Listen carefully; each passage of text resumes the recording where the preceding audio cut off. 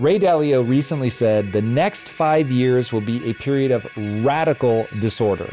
Money printing, rising inflation, a potential banking crisis, and a whole lot of debt threaten to shock the global markets. And many people, including today's guest, believe that something approximating World War III has already begun. But even if that's all true, we can't control it. Whatever hand we're dealt, we have to figure out a way to play it well. So I bring you Arthur Hayes, the controversial macro investor who's going to provide a masterclass on navigating these difficult times. What are the signs that you see on the horizon that a financial crisis might be headed our way? I absolutely agree there's going to be a major financial crisis, probably as bad or worse than the Great Depression sometime near the end of the decade. Before we get there, we're going to have, I think, the largest bull market in stocks, real estate, crypto, art, you name it, um, that we've ever seen since World War II. And the reason I believe that is if, if we back up to like 1945, essentially Europe blew itself up. China was destroyed by a civil war, and, and Japan, uh, Russia essentially fought the war for everybody else, and you know, massive destruction. So, if you look across the world, the only country that was left was uh, the U.S. And you know, they had a manufacturing base that was unharmed from the war, and they essentially rebuilt the war and reaped enormous benefits. And we're still, you know, people who are American are still living off of uh, those benefits today. But at the end of the day, everybody's sort of believing this thing called, you know, Keynesian economics, which basically is if something gets in trouble, the government should rush in, um, spend money. If they don't have the money, the central bank should print it.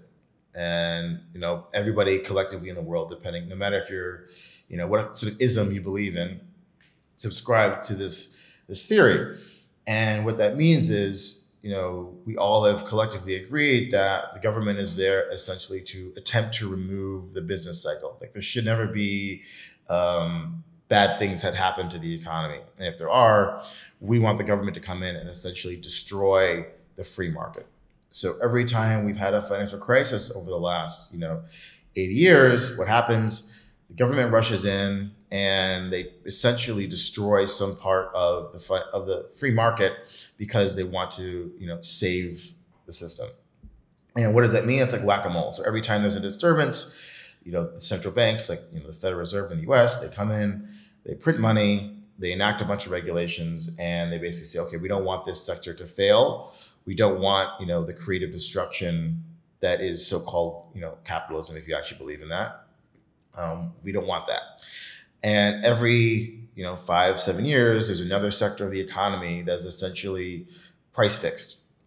And so we've gotten to this point where, you know, globally, central banks have basically destroyed the free pricing mechanism in just about every single sector of the financial economy, except for one, which is the, the government bond markets, because they're so large, so unruly that it's practically impossible to essentially remove the market forces from this part of the market. But the problem is right now we're going to try. We've you know gone from I know 100% debt to GDP globally to about 360% um, as per the World Bank, and we are accelerating the amount of debt that we're adding onto the pile. Why? Because in the rich world, including China, Russia, and Brazil, we've stopped having enough kids. So the population is actually declining. So if you have all this debt and you don't have more humans being born to essentially do stuff to pay it back, um, the only way to ensure the system is solvent is for the governments and the central banks to start printing money. Uh, and now we've gotten to the situation where we have all this debt that needs to be rolled over. We have a population that has been told that, hey, you're good anything ever happens, we the government are going to come in and we're going to make sure that you know you have enough food to eat, you got health care, um, we're going to protect you, blah blah blah, right? And all that's expensive, especially as you have less and less humans who are doing productive stuff. And so we're just going to keep adding on debt because that's the only way the government can stay in business. And now we've gotten to the situation where there's so much debt that, and it's accelerating in an exponential fashion, that in order to save the market this time, right? So I think in the next three to six months, there's going to be some sort of major market disturbance, and probably in the, the U.S. Treasury or other large global bond markets.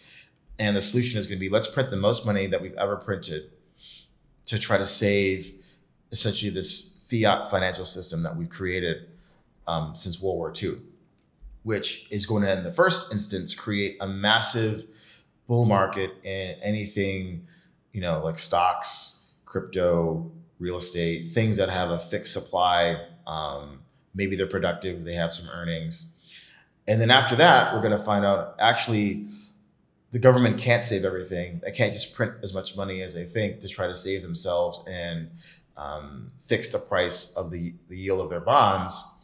And we're going to get a generational collapse. And hopefully that doesn't coincide with a major global conflict. Usually it does. I hope it doesn't because uh, I don't really want to live through uh, World War III while I'm alive. Um, but that's sort of the my overarching like macro cycle thesis. So you know, massive top 2026 timeframe, and then um, you know some sort of you know Great Depression like situation happening towards the end of the decade. If we want to take a look at the progress of human civilization of the past 150, 200 years, it's all predicated on hydrocarbons. Um, the moment we started extracting oil uh, commercially out of the ground and turning it into thousands of different products that we all use every day that basically powers our modern life, um, development supercharged, right? You know, we went from I don't know how many billions of people in the 1970s to today, a population more than doubled, right? And that's all because we were able to harness this particular type of potential energy of the earth that's underneath us. Okay, and we we've piled on all this debt, we've brought forward all this future growth, and we haven't really innovated on another form of energy that makes us that much more productive. You know, maybe if the world started adopting nuclear um, today, immediately, like small nuclear reactors in our cars, our apartments powered by nuclear energy, maybe we'd have a chance at growing our way out of this debt. Or you know, if there's some magical alien that comes down and gives us, you know, some basic resource that allows us to tap a new source of energy and like we can commercialize it instantaneously, yes, then we could pay back all this money. Or if the population doubled overnight, right, to 16 billion people, then okay, great. We've built all this stuff. There's more people that need to use it. Okay, we can pay back this debt. But barring any of these, you know, you know, I like to say it takes 18 years to make an 18 year old. So it's pretty much impossible to create humans out of thin air no matter what any politician tells you. And, you know, we're not really, you know, what we've seem to be doing is um, in certain countries is saying, you know, hydrocarbons are worthless. We want to use these other forms of energy that are less dense, less productive, and somehow think that we're going to grow our way out of this debt, which is mathematically impossible. There's just no other way, other if the government wants to save itself by it, than printing money. And printing money isn't growth is just a piece of paper out of thin air. And once the population thinks, hey, there's more and more of these pieces of paper floating around, there's only so many real goods. There's only, you know, there's only so much oil. There's only so much electricity. Well, I guess I should be consuming everything I can now. That's not actually generating real growth. If we could just print our money and generate real growth, then Rome would have survived. Zimbabwe would be the richest country in the world. Same with Argentina. We've had, you know, the the Weimar Republic in Germany. Like, if this was the answer, there's plenty of other, you know, societies that have tried this, and the the result was always the same: massive inflation, and then social unrest and collapse of the government.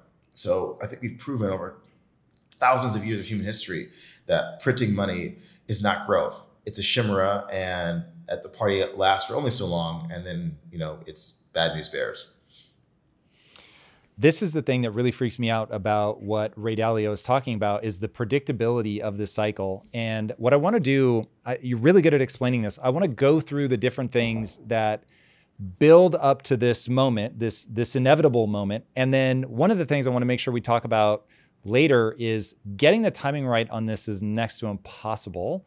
And so uh, that's going to loom in the background. But first, I want to, I just want to go through the things. Now, you said that you hope that this doesn't all happen in a moment of political instability, but I would like to quote Arthur Hayes to Arthur Hayes here real fast. Uh, this is from, th- this is the opening line from one of your recent articles. You said World War III has already begun, whether the mainstream media and political elite wish to acknowledge it or not. Um, So let's talk about the political instability. We're going to get to the debt. We're going to get to the banking crisis, inflation, all of that. Um, but set the context for us right now. What what's happening right now that unnerves you from a, a political standpoint? So for whatever reason, and I don't know why, Western Europe starting and then America following has it in for Russia. And I know if you read the, I think it's Mackinder, um, his um, global home island theory that he wrote, I want to say in the early 19, early 20th or end of the 19th century, whatever. He was a very famous um, uh, war strategist, and he basically said that the the home island is essentially Eurasia, right? So think of China, Russia, um, Western Europe, right? Whoever controls that portion of the world controls the world, and so if you think about the naval powers such as Great Britain and the U.S let's talk about Great Britain first, right? What was the British foreign policy all about in the 19th century and early 20th century? Preventing a strong continent. Whether it was France or Germany, they didn't care. They just don't want a unified Europe.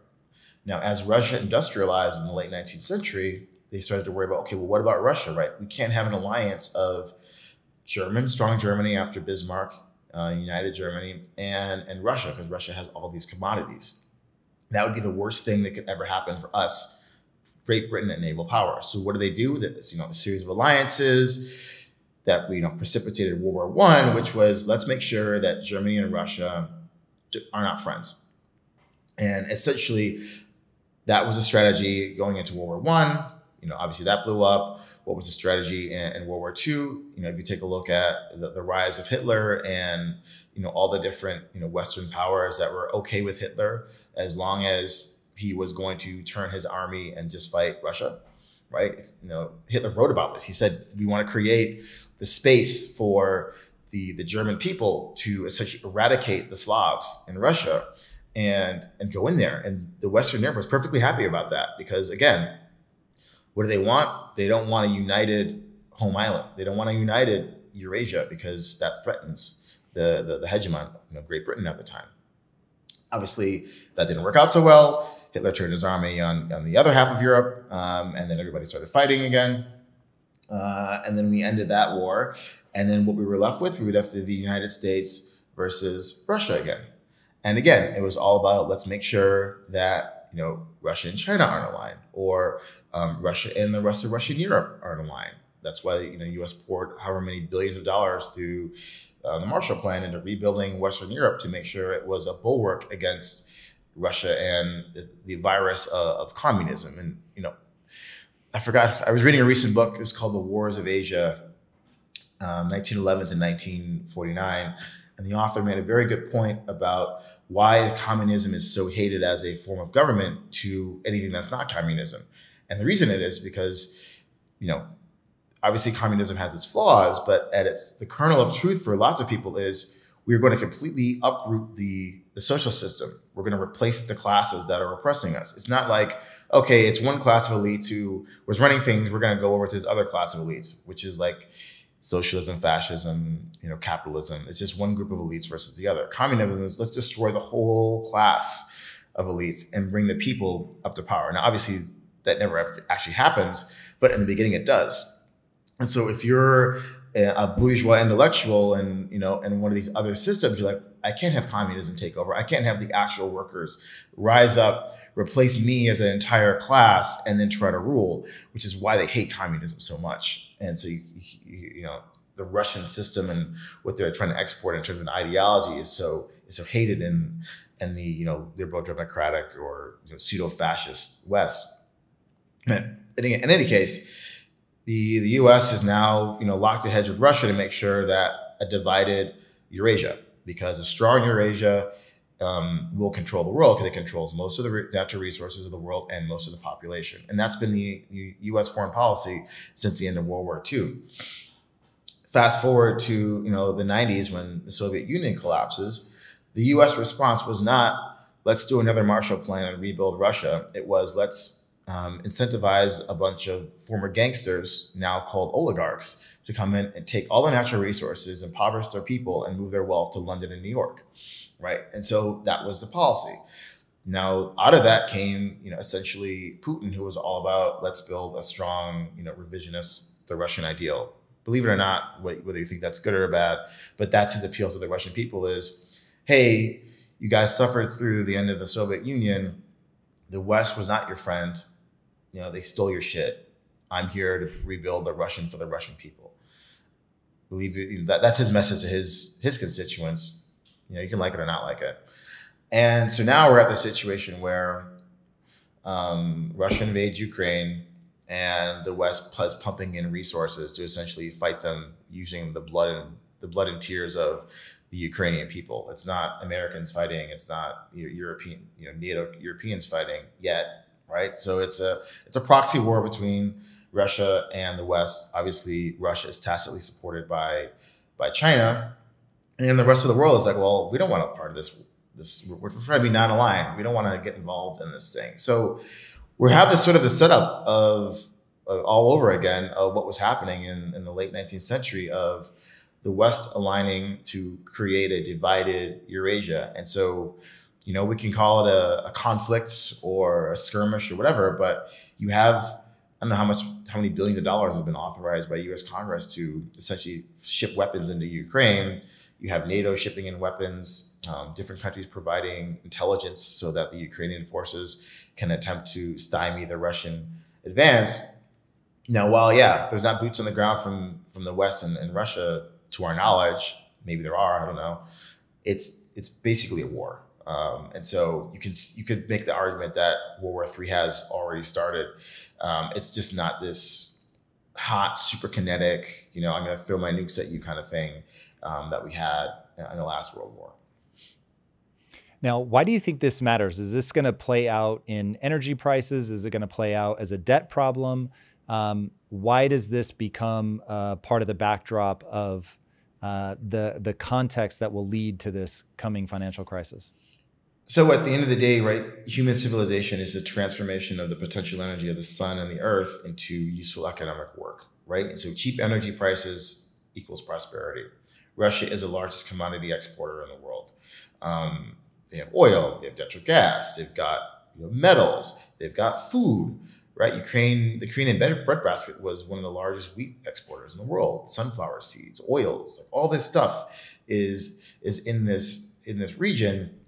And now we've the West has decided that we're no longer going to trade with Russia on paper. Now, if you actually look at the details, you know, India, China, some of these other countries are basically just buying the Russian stuff, refining it, selling it back to the Europeans and the Americans at a higher price, right? So the the the, the result of this policy of let's ostracize Russia is let's just raise prices on our energy inputs globally, and so there gets the war is causing the inflation that now the central banks have to fight by raising interest rates, which then bankrupts the banking system because they now have all these bonds, you know, that are underwater. So the this ideology of we need to fight Russia to you know keep the Eurasian island um, fractured is the proximate cause of the inflation that's causing the financial crisis in the West itself. So it's a dumb policy, but it is the the natural result of what happens when you say I'm not going to trade with the largest commodity exporter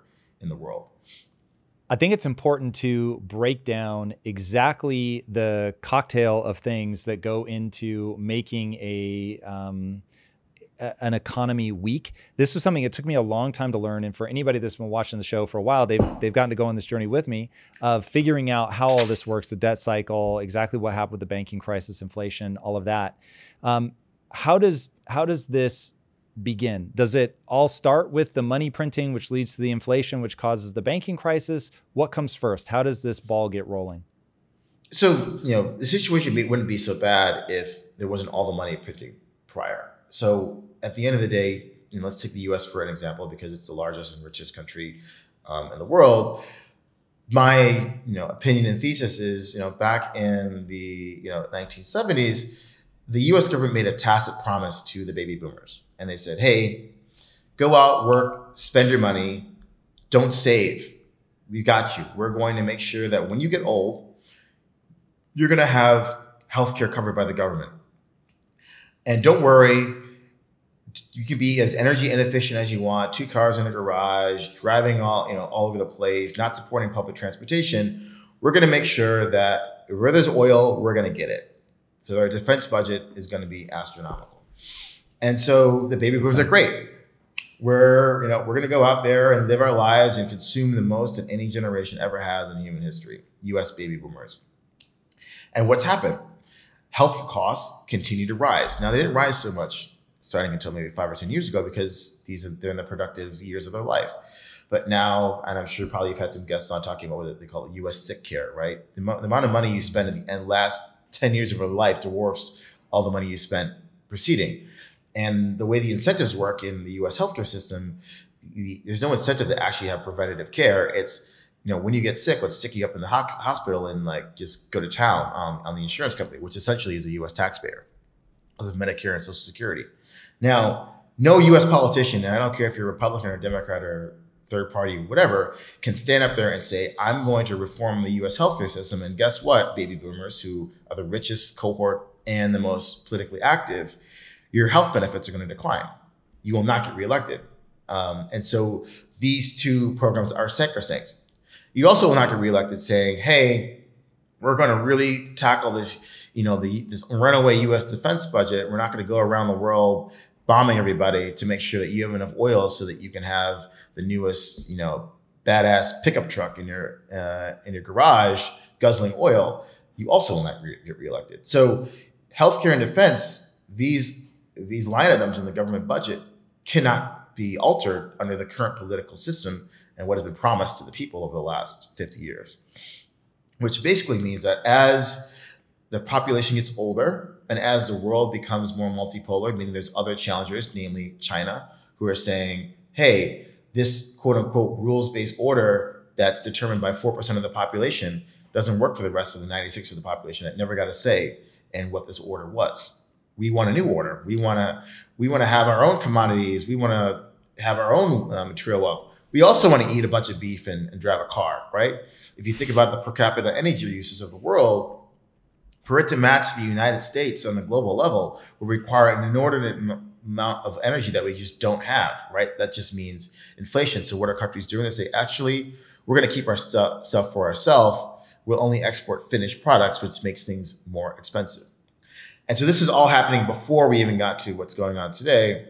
And as we've had less and less kids, because rich people have less kids, and when women have the choice of contraception, they choose not to have as many children the the Federal Reserve is like, well, okay, we don't have any growth of humans.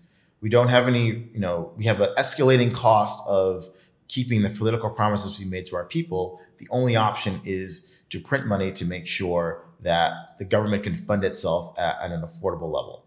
And every time there's a financial crisis, instead of reforming the, the, the banking system, and allowing some people to fail, they just print money to make sure that the banking system is sound. And the goal of the banking system is to take the people's savings and hand it to the government.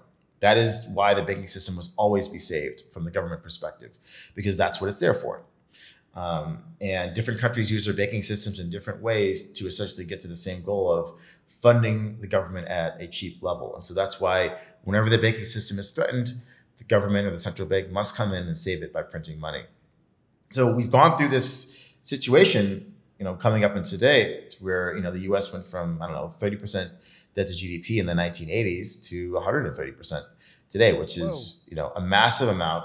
And if you read, uh, forgot the other other professor's name, Rogoff wrote a piece about um, debt. Maybe 2011 the book came out. I forgot what um, when, sometime in the last 15, 20 years. And they empirically showed that once a country crosses about 130% debt to GDP, there is always a default. And a default could be massive currency depreciation, it could be massive financial repression, or it could be some sort of uh, default in, in the government bond market every single time, uh, no exceptions, right? So they're at this level already. And now the inflation comes. And the inflation is part and parcel result of there's less humans doing productive things the war on climate change and the rebuke of hydrocarbons and then more players in the world wanting getting assertive over their natural resources saying it shouldn't just all go to the united states and western europe it should come to our people we should enjoy the same standard of living that we see in the Hollywood movies. You can reboot your life, your health, even your career, anything you want. All you need is discipline. I can teach you the tactics that I learned while growing a billion dollar business that will allow you to see your goals through. Whether you want better health, stronger relationships, a more successful career, any of that is possible with the mindset and business programs in Impact Theory University. Join the thousands of students who have already accomplished amazing things. Tap now for a free trial and get started today the idea that 130% debt to GDP has always historically equaled default, I've never heard that before. Um, that's troubling. Uh, we'll come back to that. So the the idea of money printing, this is what I want to anchor people around. So, okay, so you you you make all these promises to a gigantic generation. That generation does not replenish themselves, so there are not more people to be productive and take care of them. And so your only tool that you have is to start um, using debt. The only way to manage the debt is to print money to not default on it. And now, walk us through. Uh, this took me a while to really get my head around the idea that money printing is inflation. Inflation is simply saying that the the the amount of money is inflating like a balloon compared to the things you can buy with it. So since there are no additional things to buy, then people just start charging more for the things that are on offer because there's more money floating in the system. Um, how accurate is that? That's that, that's basically it, right? There's the denominator, i.e., the amount of money, is just growing infinitely, and then the stuff, the finance stuff, and I think about finance stuff as energy, right? We produce, and that is, in my opinion, hydrocarbons because that is the thing that powers our entire global civilization. I don't care what you believe about the good or evil of oil, but your entire modern life is predicated on oil, whether you believe it or whether you want to believe it or not.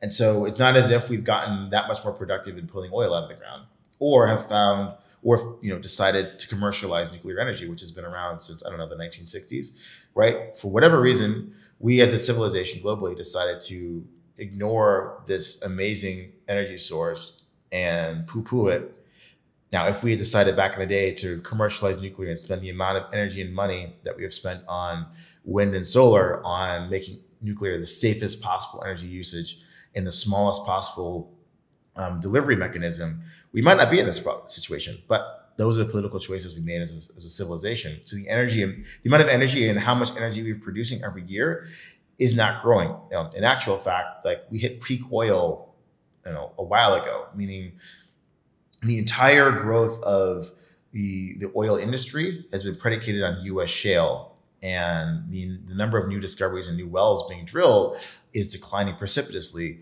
because shale depletes itself very quickly. But it's not like we're finding a new Saudi Arabia every 10 years. No. You know, these massive oil discoveries, um, we're just not making them like we were in the, you know, 60s, 70s, 80s. And so more debt, the amount of energy we're producing is is is flattish, and so that's why we're going to have energy inflation. And when you have energy inflation, you have goods inflation because every single good we use is a derivative of energy.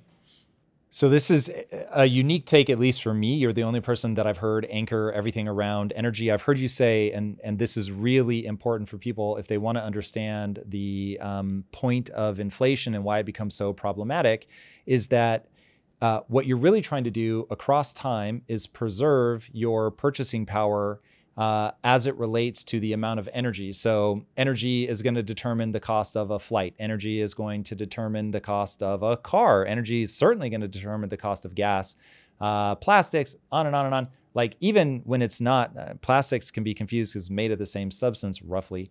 Uh, but even just to to do the the creation, all of that stuff requires energy, which right now, obviously, the main um, uh, the main source of that energy is still currently coming from fossil fuels.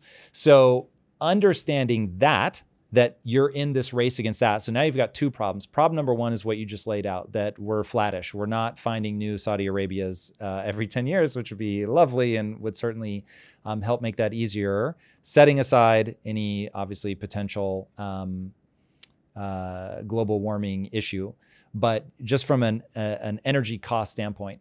So then problem number two becomes that we're inflating the money supply. And so now the cost of that is already going up Um, so, what I want to get into so, if we know that we have this magic mark of 130% debt to GDP is going to equal a default, we're already at 130% debt to GDP, but we have two promises healthcare and that uh, to keep the prices where they are from an energy perspective, we're going to have to run around the world, uh, defense, um, to make sure that we have access to the flows of oil. Um, we're going to be doing more money printing. Now, walk me through what are some of the things um, that are other than that? Because the crazy thing is, is you listed those two. I wasn't even really thinking about those two as being something that's going to cause us to inflate. I was thinking about, uh, for instance, the BTFP Bank Term Funding Program. So, which is basically um, stealth money printing, quantitative easing, just under a different name. Um, it's actually bigger than the COVID stimulus, which was 4.1 trillion. So, walk us through what are some other things that you see on the horizon that are going to lead to more inflation? Um, so that's sort of in the past. In the future, we have essentially the rest of the world, and you know, call it the non-aligned countries. They don't subscribe to the West, i.e., NATO or um, the China sphere, right? They just, hey, we're a bunch of countries. We've been impoverished ever since pretty much forever. Um, we have the natural resources that are needed to power the green revolution. Um, we have hydrocarbons. Uh, we have people who will come into the U.S. and be your nurses, um, will clean your toilets, who will take care of your children. Right? This is what we have. Uh, we want to keep these resources for ourselves now. We don't want to choose a side, China or the U.S. We just want to get wealthier ourselves. How do we do that? We trade. What do we trade? We trade you know, higher value goods, right? So an example would be um, Indonesia a large producer of, of nickel, one of the largest in the world. Um, Joko Widodo, the, the, the president of the country, has recently banned the export of raw nickel. He said, you know, guys, you want some nickel? Come down to Indonesia, build some sort of manufacturing plant, and export the refined product. Um, so I think if I read the statistic recently, they went from about um, uh, a billion dollars of economy around nickel when they were just exporting um, the raw stuff to something about $20 billion of, of value added when they were said, guess what, guys? You need to build stuff to employ our people to elevate the standing of our country. So this is just one country. The rest of the, of the world is like, why the fuck are we letting these guys come down here, own our natural resources, not give us jobs, and then send back the raw stuff, and then we import finished goods, right? That's been the entire um, structure since since World War II and why stuff is very cheap in the U.S. and Western Europe relative to how expensive things are in in the rest of the world. And so they're fed up with this. Uh, and now, sort of, they've broken the ideological position, you know, conditioning. You know, maybe some of the leaders who were on the take from all these countries no longer in power, and they're like, we want to be like the Americans and the Euro- Western Europeans. We've seen the movies. We want to be like them. Why can't we be like them? Well, we're going to stop giving you guys all of our stuff essentially almost for free. And so this is just a movement, um, resource nationalism. This is, this is what it called. Um, Kirill Sokoloff from 13D calls it the the uh, allegiance of the aggrieved.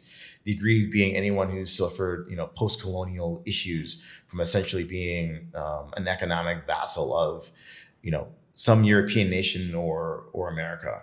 And so they are saying they're, they're gaining their voice again and at a time when the you know the appetite of the Western public to go and knock heads against a wall is is declining, and so you have this situation where the the raw stuff that powers the awesome standard of living that's you know, that's in Western Europe and America is going to get more expensive because it doesn't come from those countries themselves. And in the case of America, America has all the stuff it ever needs. It's just that the companies in charge would rather ship all the stuff out to you know third world countries and have a cheaper labor base than employ Americans who are expensive, right? Um, Europe's not so lucky, uh, but I think that is a, source of inflation that's only going to grow as the rest of the world says, "I want to live in the Hollywood movie too." Mm. Okay, so the when I think about some of the stealth liabilities that we have, um, the number starts getting pretty scary. When you think about the um, the buildup as we're having this big party. There's all this stimulus coming in. Um, one, what do you think is going to trigger that? You said in three to six months you expect some sort of big disturbance. What kind of big disturbance are you looking for? What are things that you know the government is going to um, pony up for? Is it just the things you've listed so far, healthcare, defense, um, and then the banking sector, or are there other things that people aren't thinking about in terms of liabilities? There's no way they'd let go down.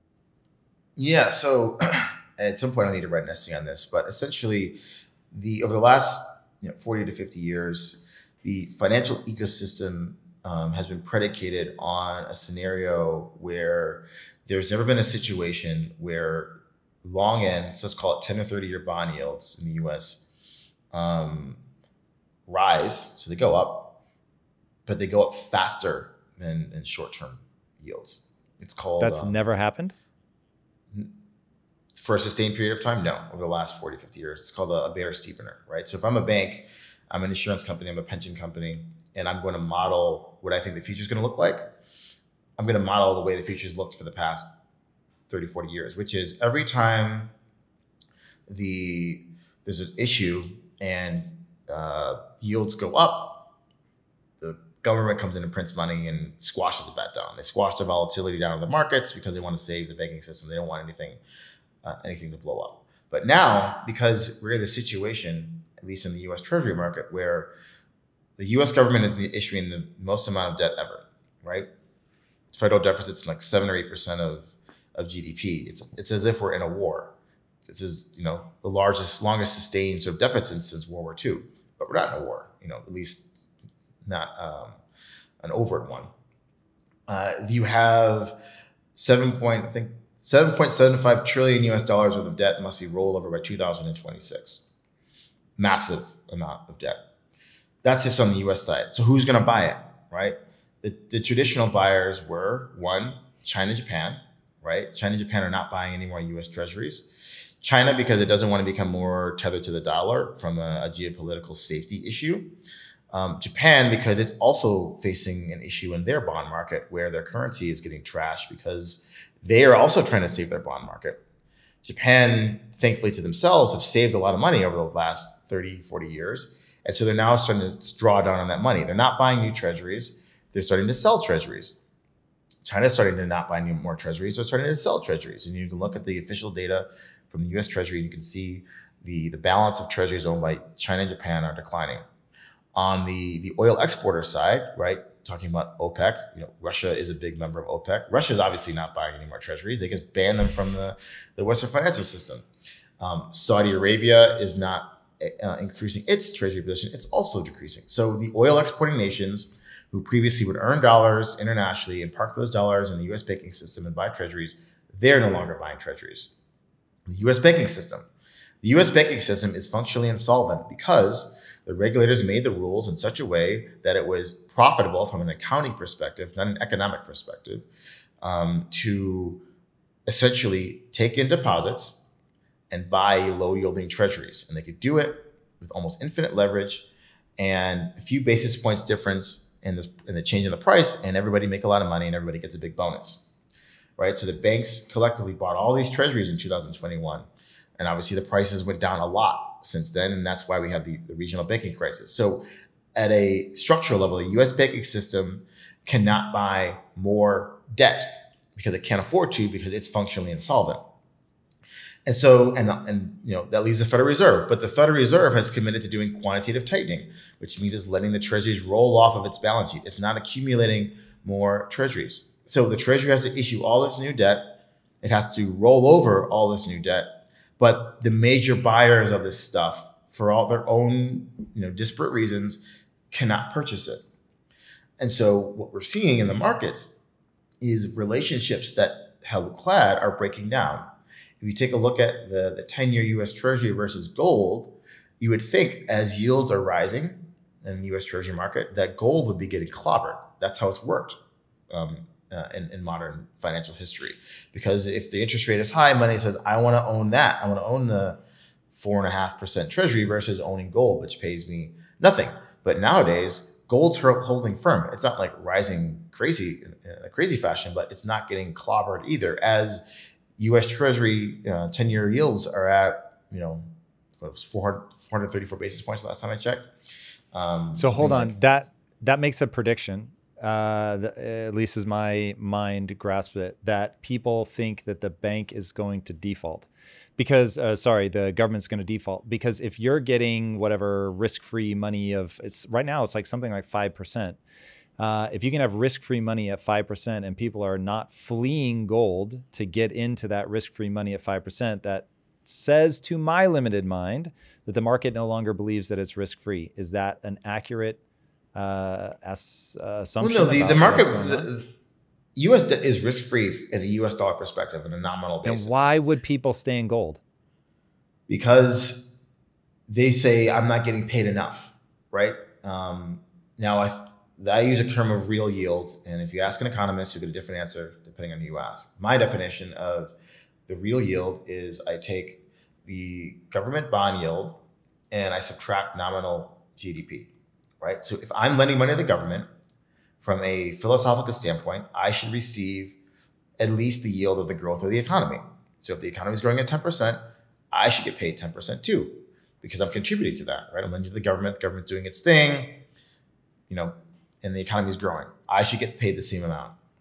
Now, from the government's perspective, we're like, hold on, I can make a profit if I can somehow engineer the economy to grow at 10%, but I only pay you 5% that's a negative yield. I, I the government, have, am making a profit.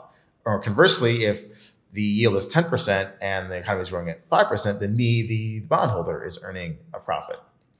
But right now, the economy in the US, if you take a look at the latest um, Atlanta Fed GDP nowcast, and they have a real time guesstimate on where the GDP is running, nominal GDP this quarter is running around 9%.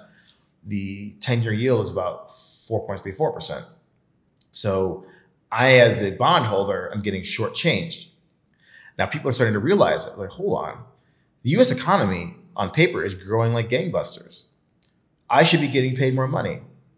If I'm not going to get paid more money, then I'm not going to own these bonds because I can own something else that's going to give me a better return, whether that's stocks, gold, crypto, whatever.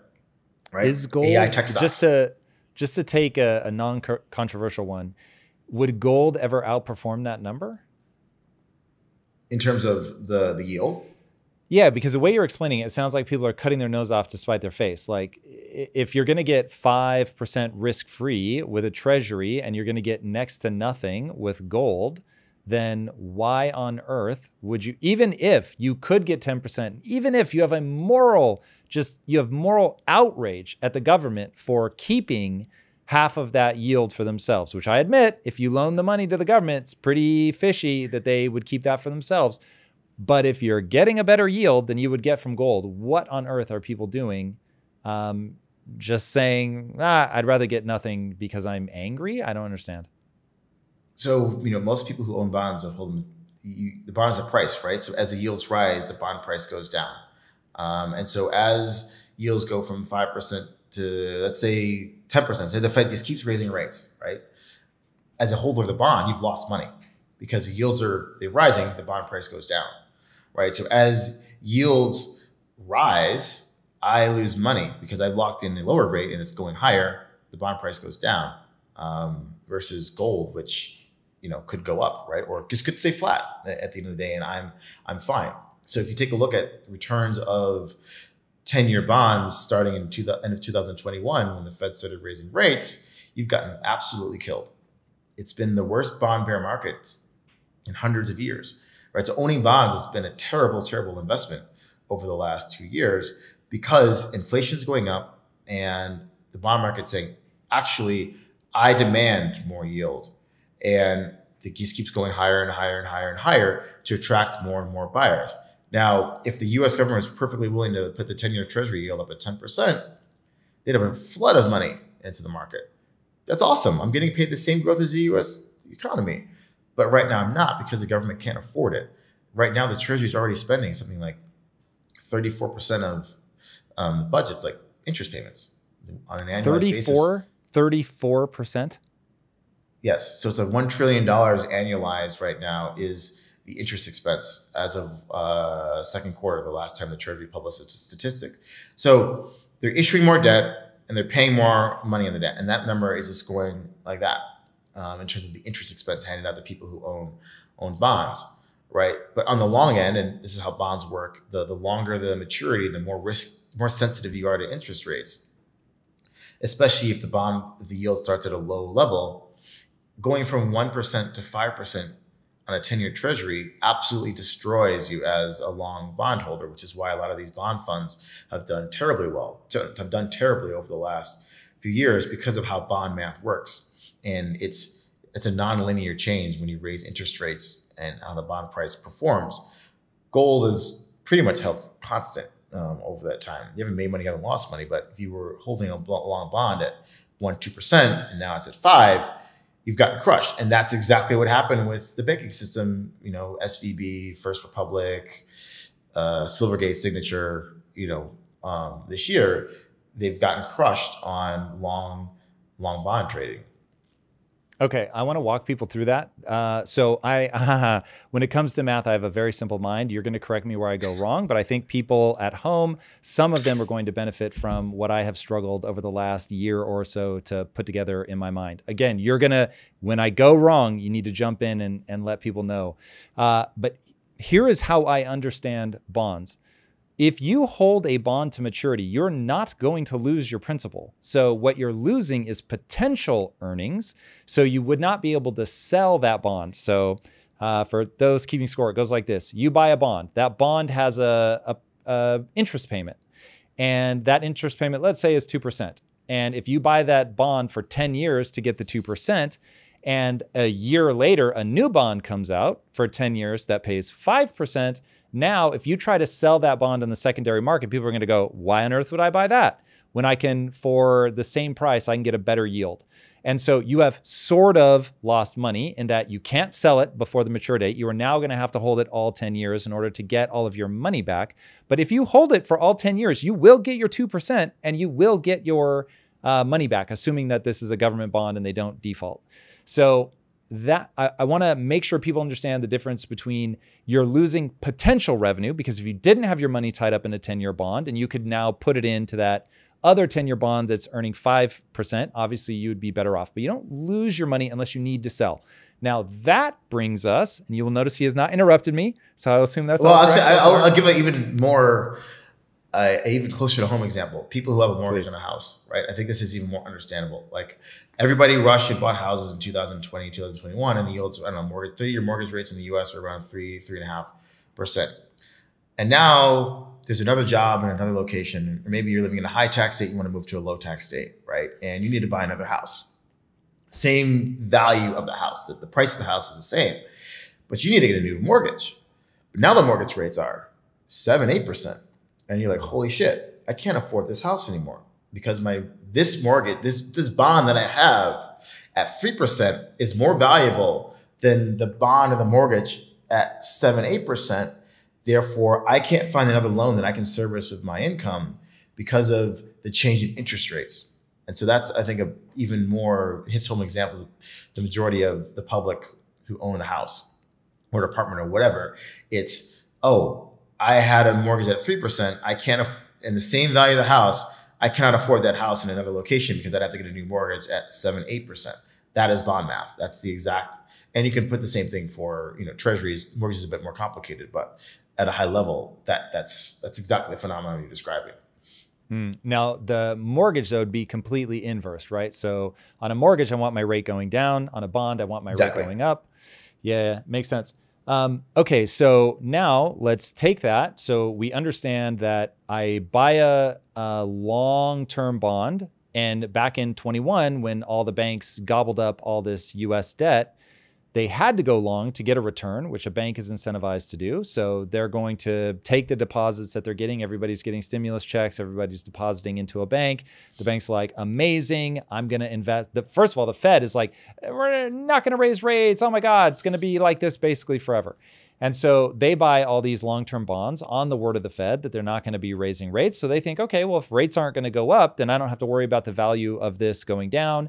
This will get me a higher yield by me taking a longer term, which uh, we need to get back to because you were talking about how it's very atypical for short term to raise faster than long term. So that's a sign that something weird is happening. But in 21, that hadn't happened yet. So a long term was the way to get the extra interest payment. So the banks gobble up these long term uh, treasuries. So they're buying debt. Uh, I'll, I'll add one little caveat here is you can actually hedge this stuff. So it's not as if there isn't instruments to say like, okay, I bought a bond at two, three percent. I'm worried about the future where the Fed raises rates. Let me go out in the market and hedge that the banking system could have easily hedged a lot of this risk, and some banks did. Um, a lot of banks didn't. But that comes at a cost. So I can either have a higher bonus or a lower bonus. The Fed says, "Don't, don't worry, I got this."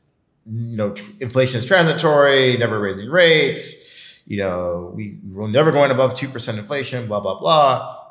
Why would I go out and hedge the long end rates? Why would I go out and hedge rates going up and reduce my bonus? So I'll stop there. Dude, that's horrifying. If that, and, and look, I'm sure it did. I don't want to play naive, uh, but that's horrible. Okay, so if that's right, then to get their bigger bonus, they buy these longer term uh, treasuries, they lock themselves in. Now, the Fed does raise the interest rate. Now, that bond, they can't sell it early, and therefore they're losing that potential income wouldn't necessarily be a problem, except for the fact that people begin to realize hold on a second, now the risk free rate of a US Treasury that I can get myself is 5%. So I don't want to leave it in the bank where they're paying me next to nothing. I want to go get my 5% risk free with the government. So, hey, SVB, I will take my money. Thank you very much. And now SVB has to cover that so that they can give you the money back. And now they're forced to sell these long bonds at a loss, and all hell breaks loose. Yep, that's exactly it. The US government bankrupted the banking system, essentially. That that is brutal when said that plainly. Okay, so now my question is they create the uh, I just had it the BTFP Bank Term Funding Program, which basically says, "Hey everybody, don't worry, your deposits are safe. Uh, but the problem is that puts them on the hook for up to $4.4 trillion that they would have to print their way out of. So, do we still have a banking crisis or do we only have a looming potential inflation crisis? There is a political choice. There, there, you know, either as people say, again, I don't I haven't looked at the deposit rates yet, but if you are a non too big to fail bank, there's eight of them. Um, it's very hard to attract deposits, and it's very hard for you to raise your deposit rate because again, you have this this portfolio of stuff, and your your deposits are not guaranteed. So if I'm a JP Morgan, a Citibank, a Wells Fargo, I forgot the other ones. The big banks, they have an unlimited deposit guarantee. Now they have to pay a bunch of other charges for that. But if I'm a depositor in those banks, I know I'm there is no question. The politicians have told me I will get 100% of my money back, no limit. If I'm not in one of those banks, I have to think to myself, okay, is this bank going to get saved? Is this going to be the Lehman Brothers or is this going to be the Goldman Sachs? Which one's going to, which one is to be, right? They let Lehman fail. They didn't let Goldman fail, right? And so it's the thought. And so you're like, well, why even take the risk? Get me the fuck out of here. I'm giving my money to Jamie Dimon, right? And so that's the issue. People are fleeing because number one, the political choice has been we are not going to extend a blanket guarantee to all these other smaller banks because of moral hazard and all these different things. We're only going to give it to these banks over here. So then the rational response of the public is, well, I don't want to be in that bank. I don't want to have to take the risk that they decide that this is the bank they're going to believe in capitalism on. Um, I'm going to go on over here. Let me go to, to socialism. I get my money back. Um, and so I think that's driving part of it. And then the other thing is the rates are still going up, right? Five and a half percent. You know, maybe the Fed raises a couple more times, maybe it'll be six percent. I can literally two clicks, go online, go to my money market account, deposit money with the government essentially, and get more money than my bank can mathematically pay me. So yes, there's a banking crisis. We it was smoothed out a bit with the bank term funding program, but it's not as if people have stopped noticing that in less than five minutes they can, you know, go from zero percent to six percent interest income. That didn't stop. So the banking crisis is still there.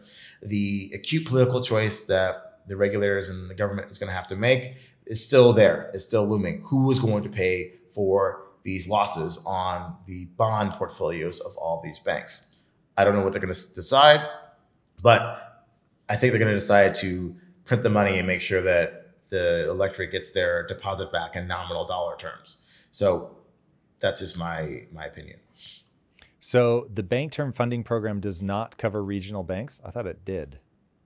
No, no, it covers it covers banks that have um, eligible securities. So that essentially means U.S. Treasury bonds and mortgage back mortgage backed securities. Now, the big thing that a lot of people are now focusing on is the commercial real estate, right? That's not included. So it's not as if I lent money to some real estate developer in some market who's going to build office buildings. I can't take that loan right now and give it to the Fed and get back um, 100% of my money back in, in dollars, right? I can take a treasury, I can take a mortgage backed security, I can swap that for dollars. I can't swap commercial real estate, which is a problem because small regional banks were the engine of commercial real estate lending boom over the last, you know, decades, whatever you want to call it. So now as we're changing the way we work and, you know, two to three days work from home for a lot of folks, these office buildings are becoming kind of irrelevant and the market has frozen.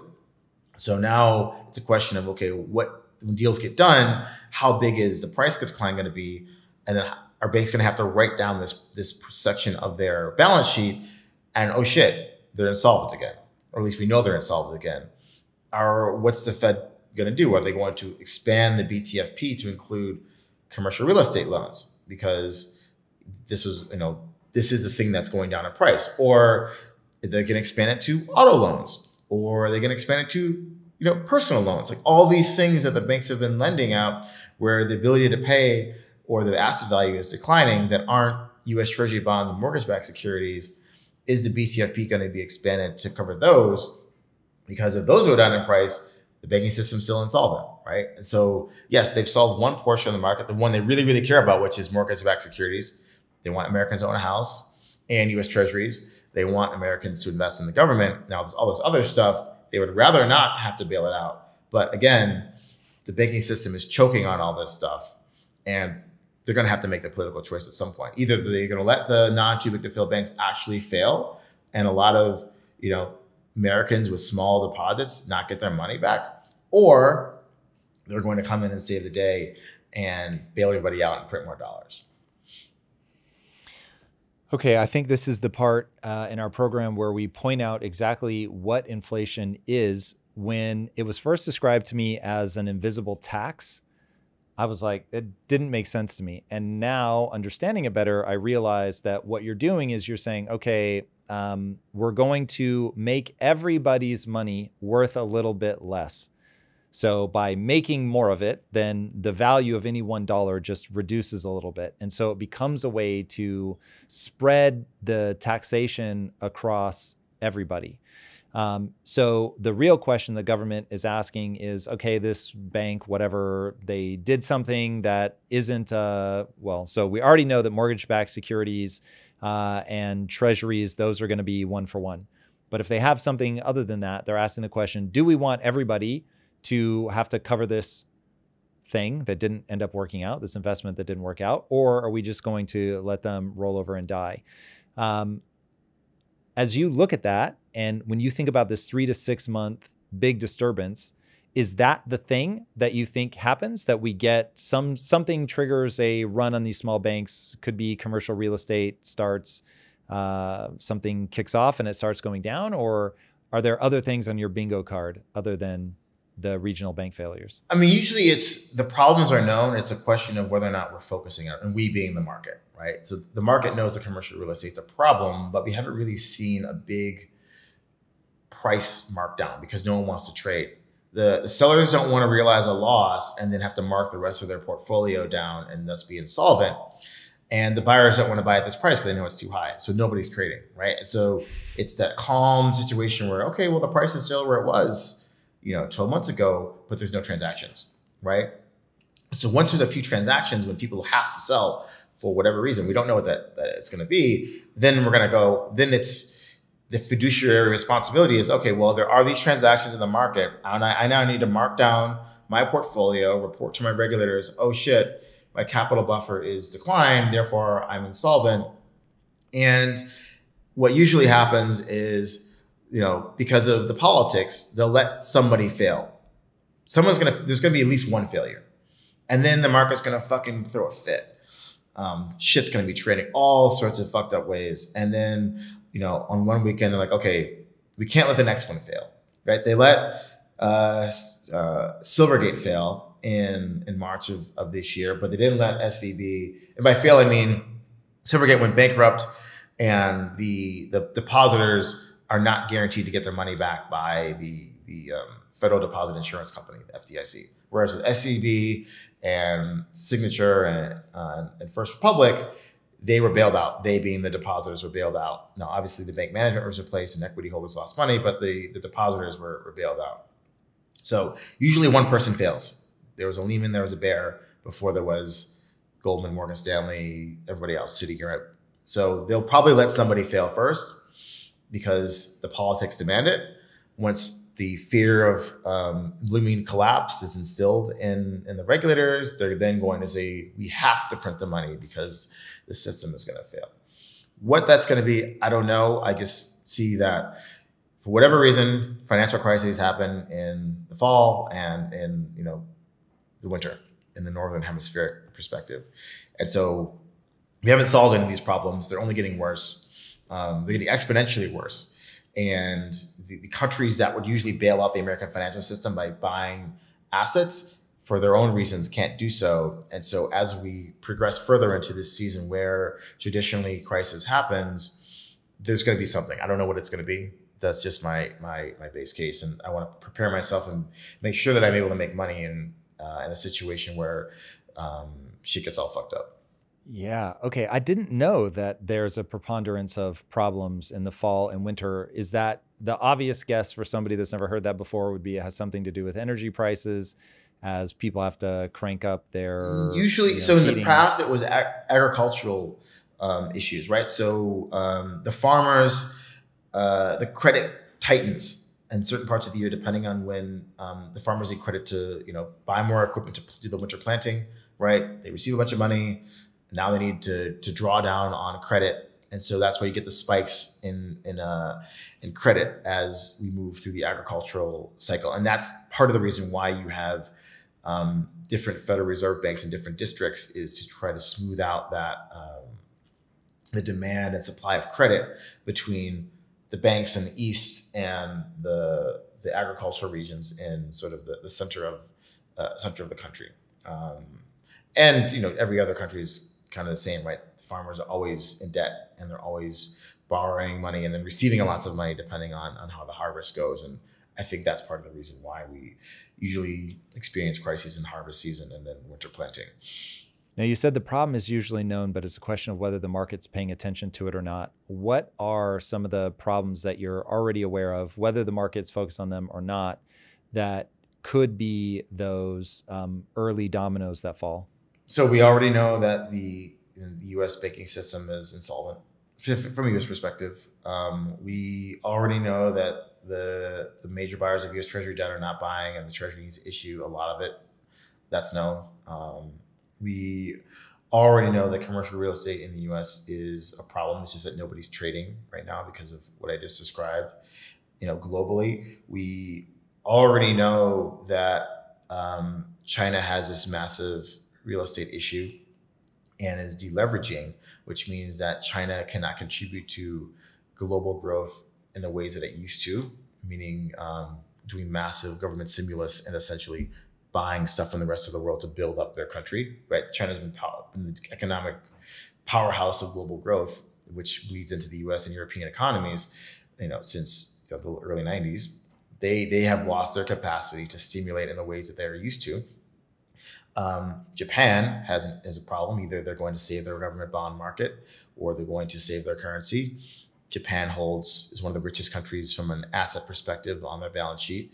Are they going to sell down their treasuries, their you know fancy U.S. real estate, um, their equity positions to essentially help fund the um, uh, the ability for their central bank to manage uh, the depreciation of their currency. So these are all known things.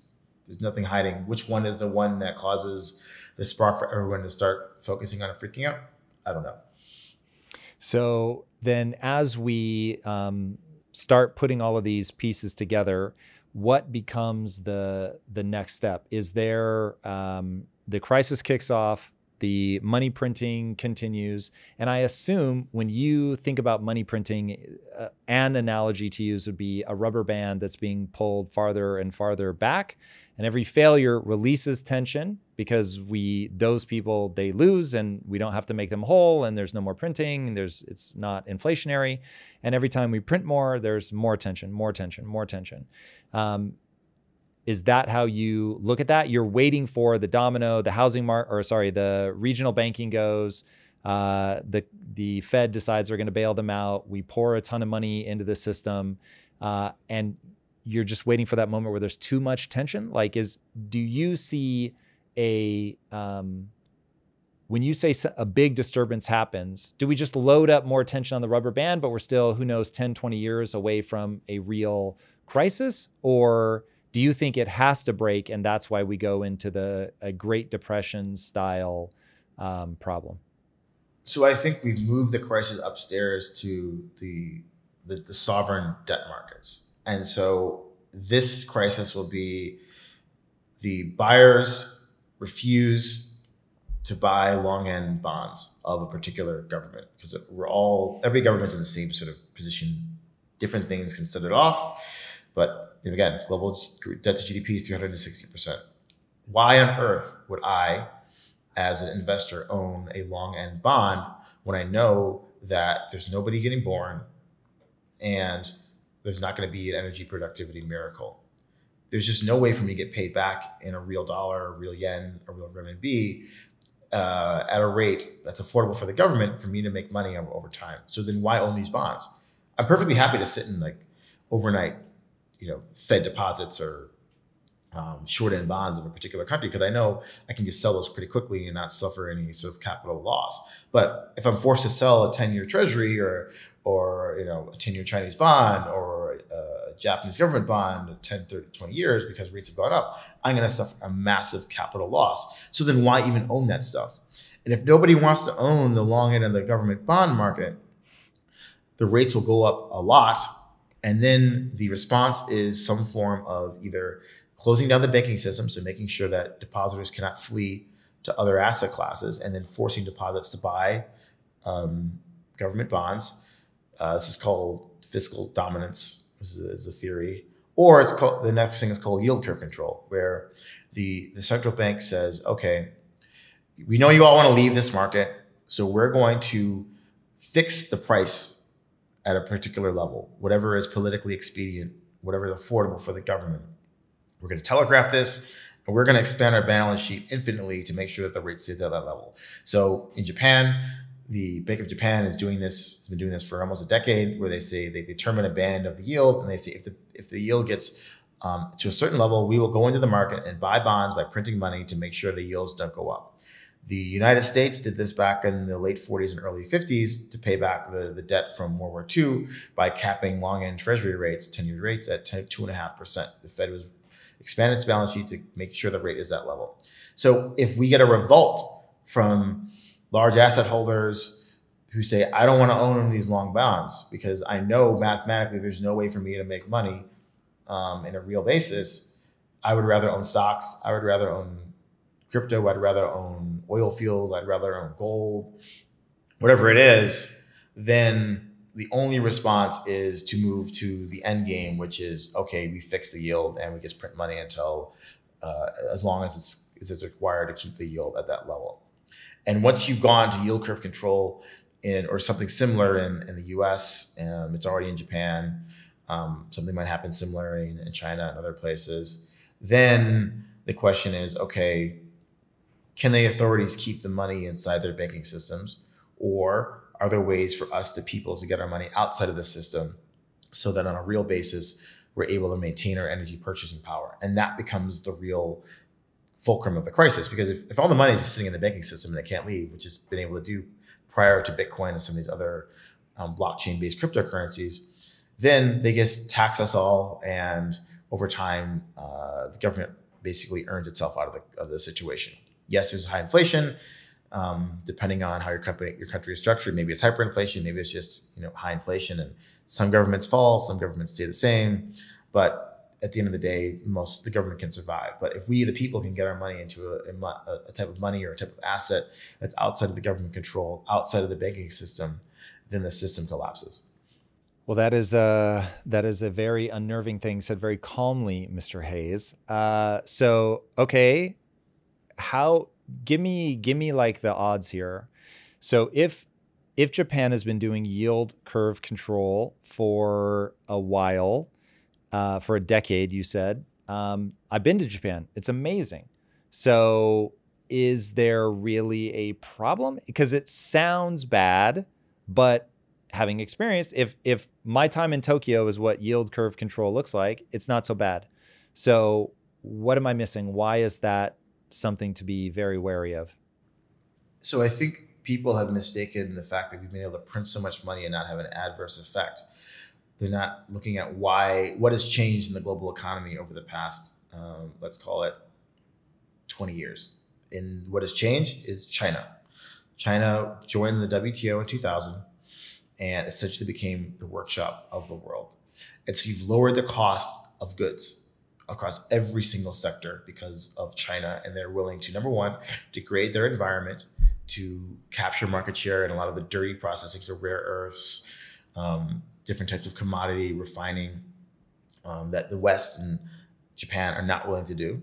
Um, they have had a growth of young people willing to go into factory work and do these things at a very cheap wage. Um, and that is it. We don't have China anymore. China, number one, is dying, just like everybody else. Their population is like forecast to be half of what it is by the you know by the end of the century. China, the population in China has also decided that they do not want to live in a smog-filled factory, and they have told their government to prioritize um, protecting the environment, which basically means that China does no longer want to essentially pollute itself so that America, Western Europe, and you know, and Japan and Korea don't have to, right? So we're going to make these things more expensive, um, and so there is no more big country that's going to join and essentially degrade themselves so that the rest of the world, the rest of the very developed and rich world, can enjoy a higher standard of living, all the while they're printing a bunch of money. So there is no more. That's just not going to happen again. And so I think that's what people miss about why we were able to print all this money over the last 20 years and not really have any sort of adverse effects. Um, that's just not going to happen anymore. Well, so I'll ask maybe the uncouth question, but the obvious question. So India is still growing. Um, is there because the the thing that I'm dancing around is being right about the concepts, but getting the timing wrong is the same as being wrong. And so what I don't want to do is um, get myself all worked up that, you know, the sky's falling. This is all going to be bad. Uh, I need to get my money out of the banking system. I don't want the government to close the exits. I don't want them to force me to buy things. Uh, I want to maintain my financial autonomy. I want to maintain my freedom. I want to come and go where I want. Uh, and certainly there are many, many, many horror stories throughout time of governments doing that. Um, and if there is a way to keep this party going, again, I'll just use Japan as an example. You know, my whole life I've heard Japan is in stagflation. But again, being in Japan, it's it's beautiful and lovely and there are wonderful restaurants and exceptional people and for me as a storyteller, some of my favorite storytelling comes out of Japan. Like there just doesn't seem to be, and look, I've never lived there, but there doesn't seem to be downsides. It's not like I'm like, oh my God, I would never want to be in Japan. I'm like, this fucking place is amazing. Um, so I hear your point about China and China, the just booming growth and the amount of things that we were all able to reap the benefits of as, as the you know developed world a little bit ahead of them. Uh, we were able to reap the benefits of their transition period, which is just astonishing to have been cognizant while it was happening was really something magnificent. And look, I was far removed, but still had a sense of how extraordinary their growth was. Um, are we not poised to see the same thing in India? So, like on the Japan thing, because this is called the, the widowmaker trade. The oh my God, Japan's dying. Oh my God, debt to GDP is only goes in one direction. Oh my God, the, the BOJ's balance sheet is is going through the roof. So Japan is essentially just like China. Japan is a more successful version of China. They both have run the exact same industrial playbook. Japan had two nuclear bombs dropped on it by the United States. Um, and the US essentially made it a colony for a bit. Uh, and so, what did Japan do? They reoriented, reoriented themselves to making shit for America. And essentially, the Japanese government and the large companies made essentially a pact which said, okay, we're going to give all the people jobs for life. You work really hard for the nation of Japan to make things to, to you know to grow the prosperity of the country, and but you're not going to keep all of the productivity gains, right? That difference uh, is going to go essentially to these large companies, and they're going to reinvest that profit back into the United States and, and Western Europe, essentially. So if you look at Japan as a country, they're one of the richest countries in the world on a um, net investment pers- um, portfolio perspective. They've got uh, like one or two trillion dollars worth of assets. What are those assets? Those are that's essentially the productivity gains of their people over you know since World War II. So Japan has this buffer of money that can cushion themselves. They owe the money to themselves. It's not as if um, the the money is owed to you know the, the, the foreigners out there. You really can't buy Japanese debt in, in large quantities. So yes, Jap- Japan is a unique situation where number one, they they have a lot of assets. Um, number two, their banking system is relatively closed. Right, it's not as if Saudi Arabia can go in there and buy a billion, you know, a trillion dollars worth of Japanese bonds. They just won't let them do it, right? Because they don't want the the the situation that the United States is in, where essentially capital holders determine the, the policy of, of the nation. And, and, number three, Japan has been you know, very fortunate to use the labor of China and Southeast Asia to reduce the cost of labor. If you look at the major Japanese trading houses and manufacturers, and if you go around Southeast Asia, you see there's a lot of Japanese companies who have factories in all these countries employing all this labor that's very cheap versus the very expensive Jap- um, labor in, in Japan.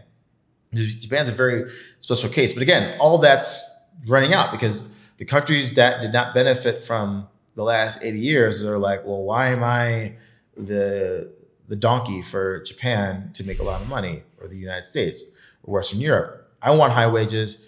I want to live in the Hollywood movie. I want more energy consumption. I'm not going to sell my resources to these other countries um, cheaply anymore.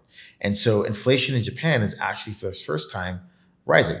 It's at, I don't know, four or 5% highs in, in 40 years. The Asahi for the first time in 30 years raised beer prices, right? So the problem is when inflation shows up. And so when you exhaust the cheap labor, when you exhaust the cheap energy, when you sell down all of your trillions of dollars of assets, and inflation remains in a world where the United States is not able to dictate the flows of energy unilaterally, then your special circumstance, you know, since the collapse of your equity market and property market since the late 80s is no longer valid. And so I think people are making a mistake by not understanding why Japan is successful to say, oh, if Japan did it, they, they can be successful. Let's take a look at the United States. The United States owes the world something around one to two trillion dollars. The United States runs a current account deficit and a budget deficit. Um, so it's a completely different financial situation in Japan. The United States, foreigners own a lot of the debt. The United States relies on the foreigners to buy the debt to fund itself at affordable levels. It's a completely opposite situation of Japan. So saying that Japan did it and it's okay, it can work in the United States misses the differences fundamentally between the two um, the two situations. Now on to like you know, don't freak out and go you know move all your money into gold or whatever or something and you know suffer some capital losses my you know how i structure my portfolio is to benefit from both situations i have high nominal rates right now right? I know on a real basis I'm losing money, but thankfully, um, as a percentage of my uh, my net worth, the amount of money I consume on food and energy is very low. So even if I have a five percent rate and it's still a negative real gate on the amount of capital that I have, I'm still making more than I need to sustain myself. So keep some money in cash, put it in a money market fund. You're making five, six percent, and take whatever you can afford, a small amount, and put it in something that's going to benefit if money printing resumes. That could be Nvidia stock. It could be Bitcoin. It could be um, productive farmland. Whatever you want to have a barbell. You want to make sure that in the event that the the money starts getting printed, I can easily move out of my short term you know, money market fund government bonds into the risky stuff for the fixed supply and zoom up that way. Or if nothing happens, I'm still earning money. I'm starting earning yield over here on my my uh, my treasuries or whatever short term government bonds. I can fund some of my my expenses, and I, I run a positive carry trade, meaning I've structured my portfolio such that if shit really fucks up, I'm going to make so much money on, on the on in that situation. But as long as not, it's very calm, I'm still covering day to day expenses. And so you want to have a, a, an optionality portfolio that costs you little to nothing, if not makes you money over time. If you're able to construct that, then again, timing doesn't matter because you're not paying for time. If you're selling a bunch of stuff and you've got everything in the risky bucket, yes, I would agree with you. Then you're like, well, when is it going to happen? It didn't happen last month and I'm down, I'm down such percent, or I needed to buy, you know, go to the hospital because I had an emergency injury and I had to sell down some of my this portfolio that I'm like betting on this collapse and that was financially ruinous, right? So it's all about trying to construct this portfolio where the cost of waiting is zero to making money versus, you know, it's costing me money the longer this takes to happen. How often are you checking your credit score, afraid of identity theft or account breaches? We all use the internet every single day for important things like personal banking and remote work, so why not protect yourself with our sponsor, Aura? Aura is an all in one cybersecurity service that keeps you safe online. Aura identifies data brokers exposing your info and submits opt out requests on your behalf. Aura also monitors your credit, tracks your passwords for data breaches, and secures your online activity with VPN and anti malware protection. You can try Aura for free for two weeks by clicking the link in the description or scanning the QR code. Okay, so I want to go a little bit deeper um, into exactly how you structure your portfolio. From so I heard the we're going to do a barbell strategy. We want to make sure that we can move one way or the other depending on what's going on um, as something starts to pop off. But you said uh, risky stuff with a fixed supply. So hiding in that are are what I'll call two philosophical principles. Risky stuff. I'm guessing you mean high volatility. And so explaining to people why volatility is a feature and not a bug, I think may be surprising to somebody. And then why a fixed supply? So again, we want to make the, we want to basically participate in the upside to the maximum we can. Um, right. So we want the high volatile stuff. We want the crypto. We want the, the tech stocks. Right. Um, but on when stuff doesn't happen, then we want our brakes. So uh, like a car, right? You want to go as fast as you can on the straightaway when you are racing, and you want the best brakes possible so you can take those corners and and not get wrecked, right? So the brakes are cash, short-term cash instruments that are earning yield. That's that's paying you your grocery bill, you're you're filling up your car tank, whatever it is that you need to do. You want to be making sure you can cover those expenses with some cash in the bank or in a money market fund or something like that, and higher yielding instrument so you can pay some of those expenses so that when shit's ready to go, oh, I'm over here. I'm ready to make as much money as possible when they're printing money. I'm not in this safe, boring thing because this situation doesn't happen. There's not very many straightaways, right? I need to make as much money as I can when the making money is good and then put the brakes back on, right? As if you were a race car driver. That's kind of how I want to think about it. Okay, so knowing that these trades are excruciatingly difficult to pull off. So, for people that don't know you, you manage your own money. You've often said you find it intellectually stimulating, it's fun. Uh, I will ask the question that better be on everybody's mind. So, lifetime, are you up or down? Up. Okay, good. So we know at least your strategy has worked once. Uh, that's very valuable. So how do we make the volatility work for us? Because the obviously the best advice and and people laugh at this, but I think they laugh at this at their own peril because they don't understand why it's become the phrase buy low, sell high. Now it got repeated so many times that it became funny because people think it's so self-evident, but in reality, it's the thing people never do they almost always buy high and sell low. They buy high because it's hype, it's moving, they finally pay attention, they ape in, and then it starts trending down, they panic, and they sell as it's lower than when they bought it. So um, let's assume that they're going to be uh, emotionally cognizant, they're going to stay calm, they're not going to make that mistake. But how do they know which of the risky assets to do? How do they know how to do volatility well? Um, I, it's personal preference, right? Like obviously, I'm in the crypto sphere. I love crypto. I understand it. Um, the volatility doesn't scare me. For some people, they might, you know, that, that's that's that's too much for me. Maybe I'm going to stick with Nasdaq tech stocks. I understand that. I get, you know, I understand why this particular company could do well you know, I'm going to jump on the AI tech boom. It doesn't really matter what it is, right? But looking at whatever it is that you think is going to be your upside winner, look well, at so how. hold on. It it not only does it matter what it is, it's the only thing that matters because if they bet wrong, they either make no money or God forbid they lose a lot of money. So the most important like, thing is not the upside; it's the brake. The brake is I own right now. The brake is I own cash and a five and a half, six percent yielding money market fund, or wherever you are in the world, whatever that is, like the short term government. That's the brake. That's paying your bills. That's you know paying your rent. That's earning you a little bit of, uh, of income, right? Because at the end of the day, you want this portfolio to make you money while you wait. So if okay, so to turn that into to turn it into a principle, you're saying basically you're going to move into high volatility something that you have some reason to believe is going to do well but you should not be putting more into the high volatility than you can see go to absolutely zero. You should have enough in the brake category that even if all of that goes to zero, that you're still going to be able to eat and fill your tank up. Exactly, because you're going to know when to move into high vol stuff. Fed market panics, everything's getting dumped. Fed comes in overnight, says we are backstopping the financial system and we've created some alphabet letters that essentially mean print money, right? And it could be, you know, pick your different central bank and wherever you're from. Then you know, okay, cash is trash.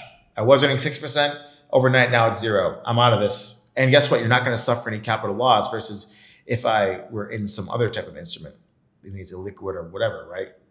So I can get out of this thing very easily Uh, boom, I maybe I had some already in my high volatility bucket, but now I'm I'm fully in that high volatility bucket because I no longer am earning anything on the cash.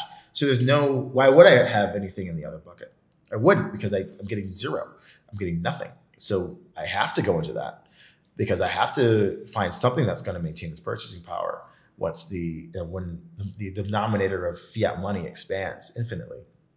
So you'll know it'll be. It's not as if like the S and P you know, went up three times the instant that um, Ben Bernanke unveiled quantitative easing in, 2000, in March 2009. It took many, many, many years. It's not like it's, you have time. This isn't like, oh shit, I gotta go. You know, sell this, buy this, and I miss it by a day, and therefore goes my return for the next 10 years. No, you're gonna have time. Um, it'll be very clearly communicated.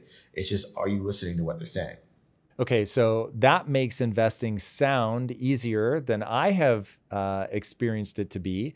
So, the way, again, saying very clearly, nobody should take investing advice from me. And I mean, nobody. I am still grappling to understand this stuff.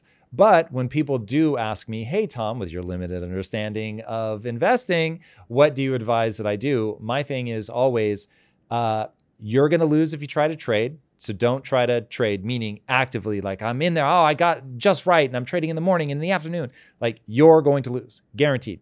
Uh, what I would tell them to do is pick the most diversified bundle of whatever, whatever. Uh, so whether that's the S&P or you said AI growth stocks, I don't know if you consider that high volatility, uh, but something that where it spreads your risk that is commensurate with the amount of knowledge that you have. If you don't have a lot of knowledge in it, then I would go very broad and I would be very careful and I'd be trying to get as close to Ray Dalio's all weather fund as humanly possible, something that's going to perform four or 5%, no matter what happens. Um, that's when you're ignorant, like me, that is the, the thing that I would push people towards. Um, do you agree with that when people don't know? And do you agree if you're going to get into something that's high volatility, you should only do it in an area that you understand? I think you need to define your time span. I think a lot of people think they're like, wow, I see this person on TV or TikTok or Instagram or whatever, and they went from zero to hero in you know five trading days and made all this money. So I should do the same thing. Like, if you're not willing to dedicate 24 seven of your life energy looking at a screen, then you should not be trading on, on short time frames. So what does that mean? Don't use leverage. Um, don't open up the, the, the the options trading account or the futures trading account if you're not willing to put in the work to sit there and trade. Now, obviously, I have a large ownership in a futures exchange. I'm not saying don't use my product. I'm saying if you are going to be a day trader, then be a day trader and dedicate yourself to doing it. Don't work a day job. Think you're going to come home at night for two hours and just trade yourself into you know quitting your job right? It's it's a profession, it's a dedication. You can do it, but be willing to put in the work to do it. If you're not willing to put in the work to do it, then you know broad-based indices, you know different things, whatever you understand collectively. Okay, I want to own stocks. I don't really know what. Okay, well my country has a particular index, right?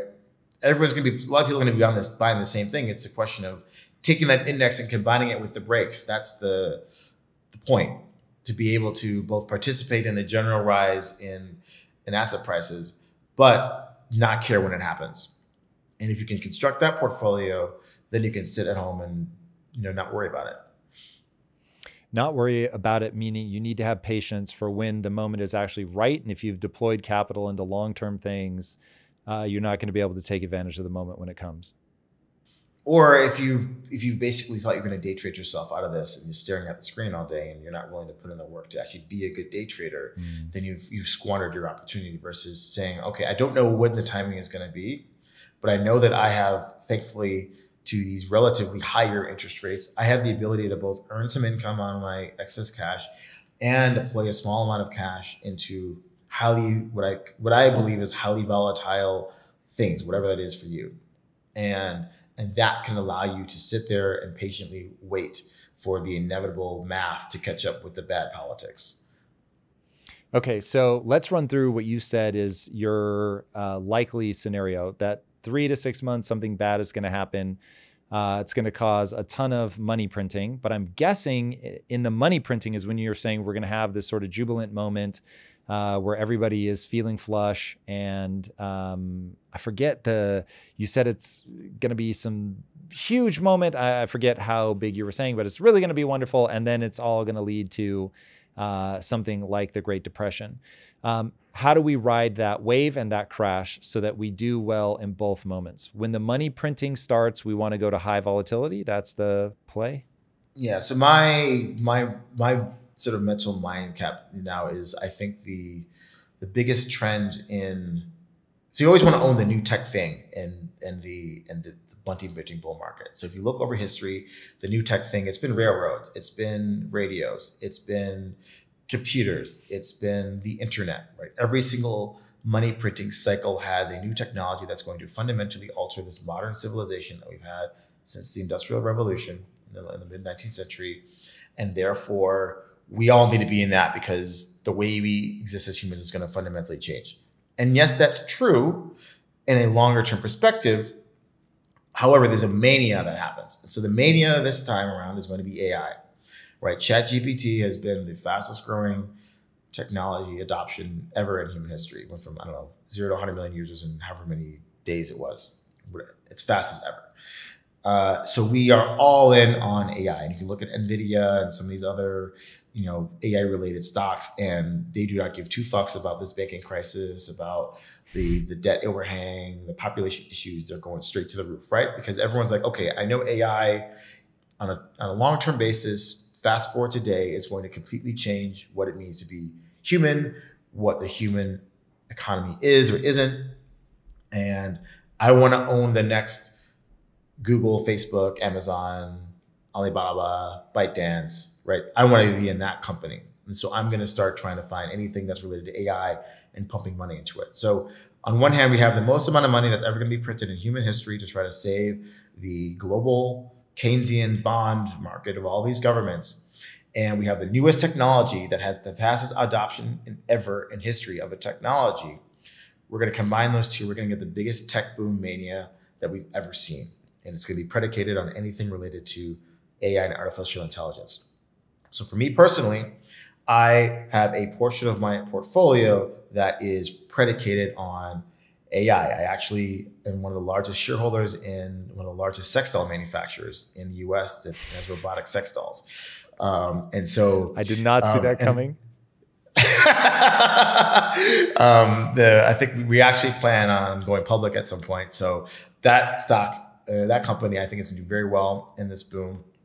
On the crypto side of things, I've been making the case that um, artificial intelligent economic agents uh, inherently need decentralization, and therefore they should be using Bitcoin for money. They should be using Ethereum for um, smart contracts and governance and DAOs, and they should be using Filecoin for decentralized storage. I own all three, whether it's mining companies in Filecoin, Filecoin itself, lots of Ethereum. I have my family office. We're investing in decentralized architecture technology that's going to power the growth and decentralization in the future. And obviously, have you know I have a lot of Bitcoin, right? So I'm all in on number one AI in the traditional sense, AI robotics, and I'm all in on the intersection of AI and crypto on the technology front because this is the mania that is going to captivate investors to take that money and to funnel it somewhere because they're not going to be buying companies like General Motors. I mean, maybe it'll go up, but that's not going to be where the, the zeitgeist of the world is. It's what is AI?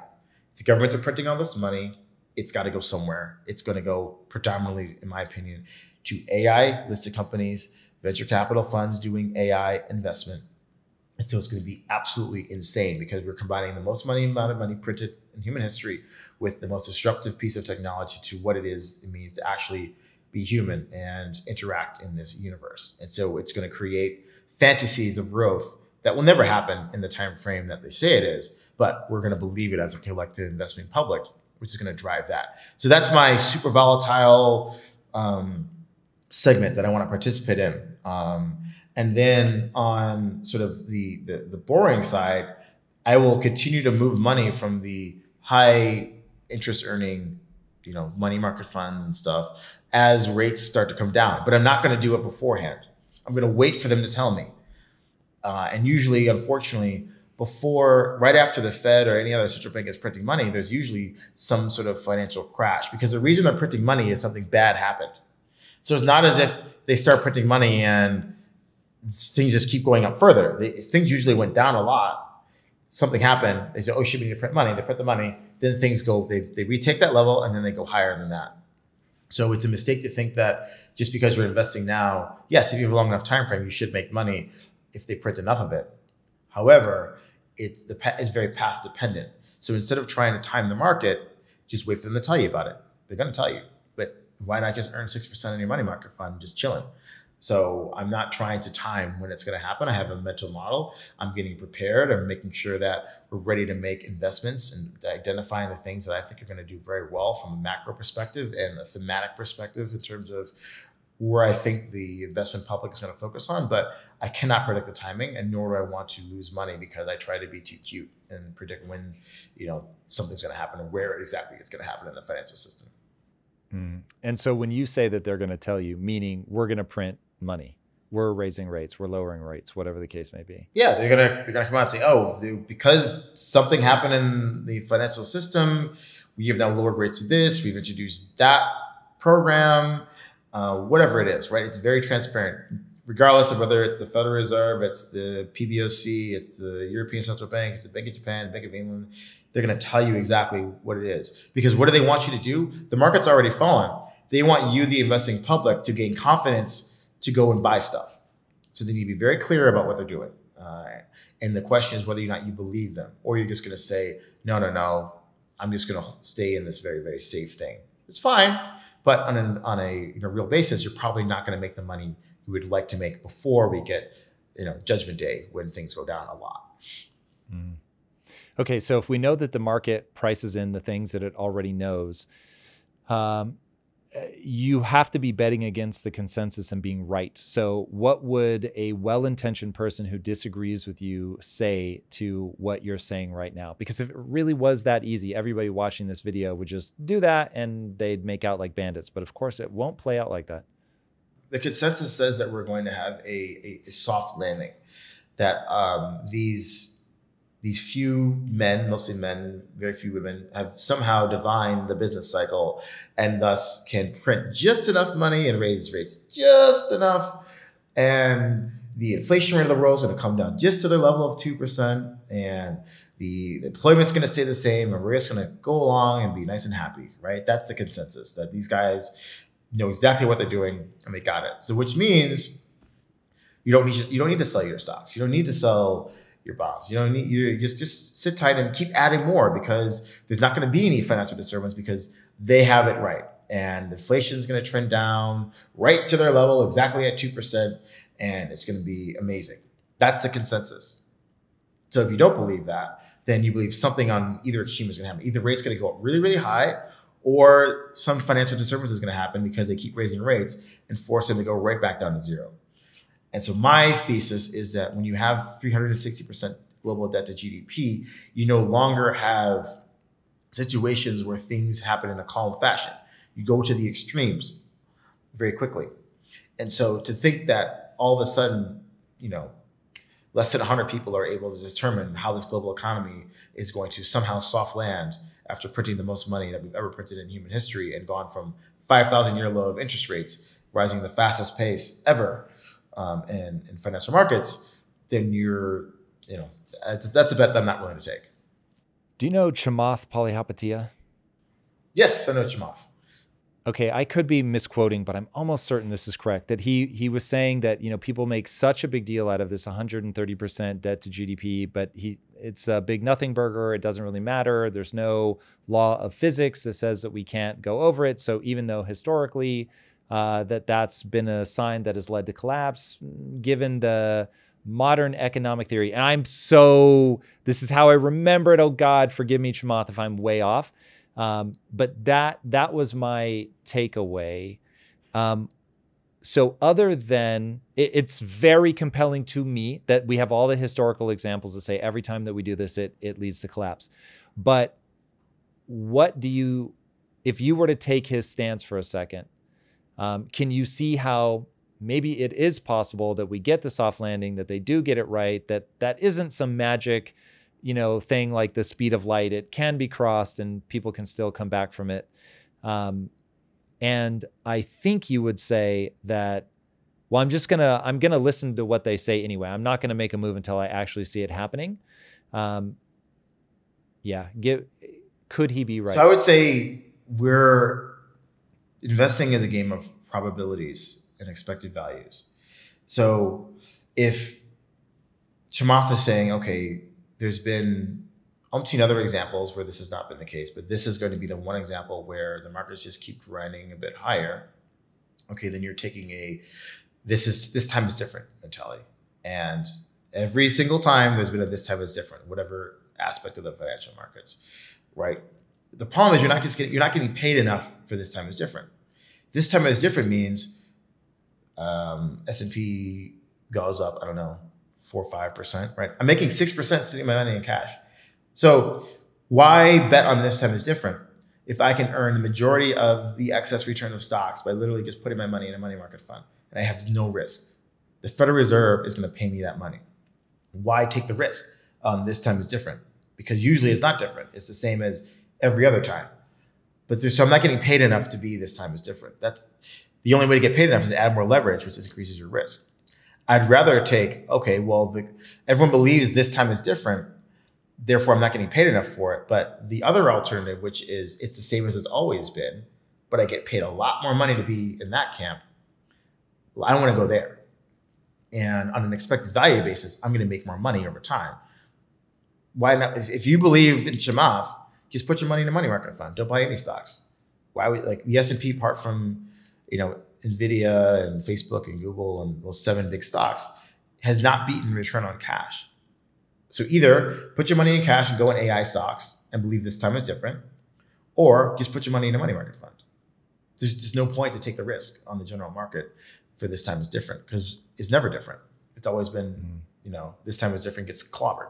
Other than the AI high volatility stuff, do you have anything deployed in the stock market right now? Uh, uranium. So I believe that we're finally going to get our, our, our, shit together and somehow believe in nuclear. And there's been vast underinvestment in uh, uranium refining capacity. And as the world moves to nuclear, and maybe the, the West decides that they want to be dumb and not do it, fine. But China's going nuclear, India's going nuclear, Saudi Arabia is going nuclear, the rest of the world's going nuclear. Um, and there's just not enough refined uh, yellow cake to go around. So, um, you know, uranium mining companies in certain jurisdictions are going to do very well. And um, I'm in a large, well, not large, it's my largest equity position is um, Cameco Mining, CCJ. Uh, it's up, I don't know, 80% this year. Uh, so um, that's something that I, I believe in as a longer term energy play. Okay, so understanding now then the way that you're deployed, I want to talk about euphoria. So I never experienced what euphoria at the like humanity level looked like until uh, the 2021, 2020, 2021 crypto uh, rush. It it was really fascinating to watch. It it was great and it felt a certain way. So I certainly know now what to look out for in the ether. Um, how how do you think about as a disciplined investor? How do you think about euphoria? I know you're planning it into the AI. Like, hey, I know people are going to get their stimulus checks or you know the bailout, however we want to categorize it. Uh, they're going to put it into whatever is the hype thing of the moment. You're expecting that to be AI. Um, how do you know? Because I'm assuming you're going to get in, probably not try to time the top perfectly, but you're going to get in you're going to get some level of gain and then you're going to come back out. I would assume if we're talking about euphoria, because euphoria is, I would say, quite irrational. And we know when that clicks over, I would now uh, be fearful when others are greedy and greedy when others are fearful. My now honed instinct for that would kick in. So I think euphoria, in my perspective, is the the willingness to invest in illiquid things that have a beautiful long term future. So the problem with AI is that to get liquidity in my cycle time, which is the 2026 timeframe, you need to have been investing three, four, five years ago, right? Because it takes, if you're talking about equities, it takes five to seven years to go IPO for a company. So if you're putting money into a Series A startup today, you're not going to see any liquidity until 2030, you know, timeframe, well after the bull market even though on paper your thing might be up, you can't actually sell it um, because it's not it's not liquid. Now, obviously, I do a lot of um, cryptographic token investing uh, and stuff.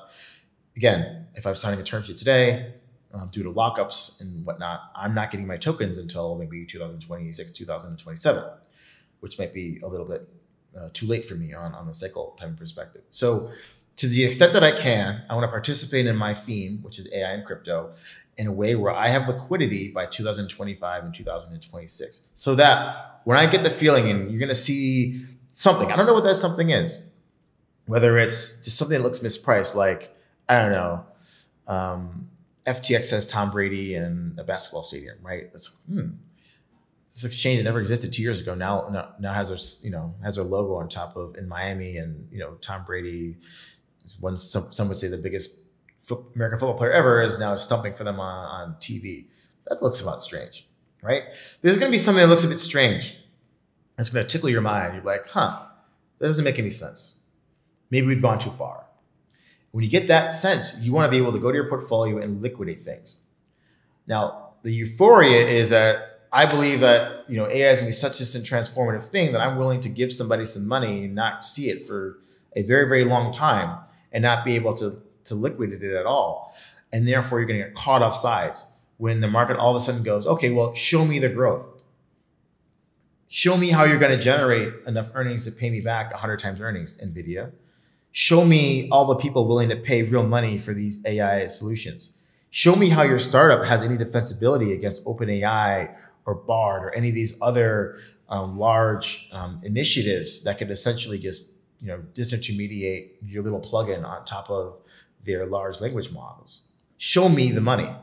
When the market starts saying that, and you can't liquidate, you're wrecked.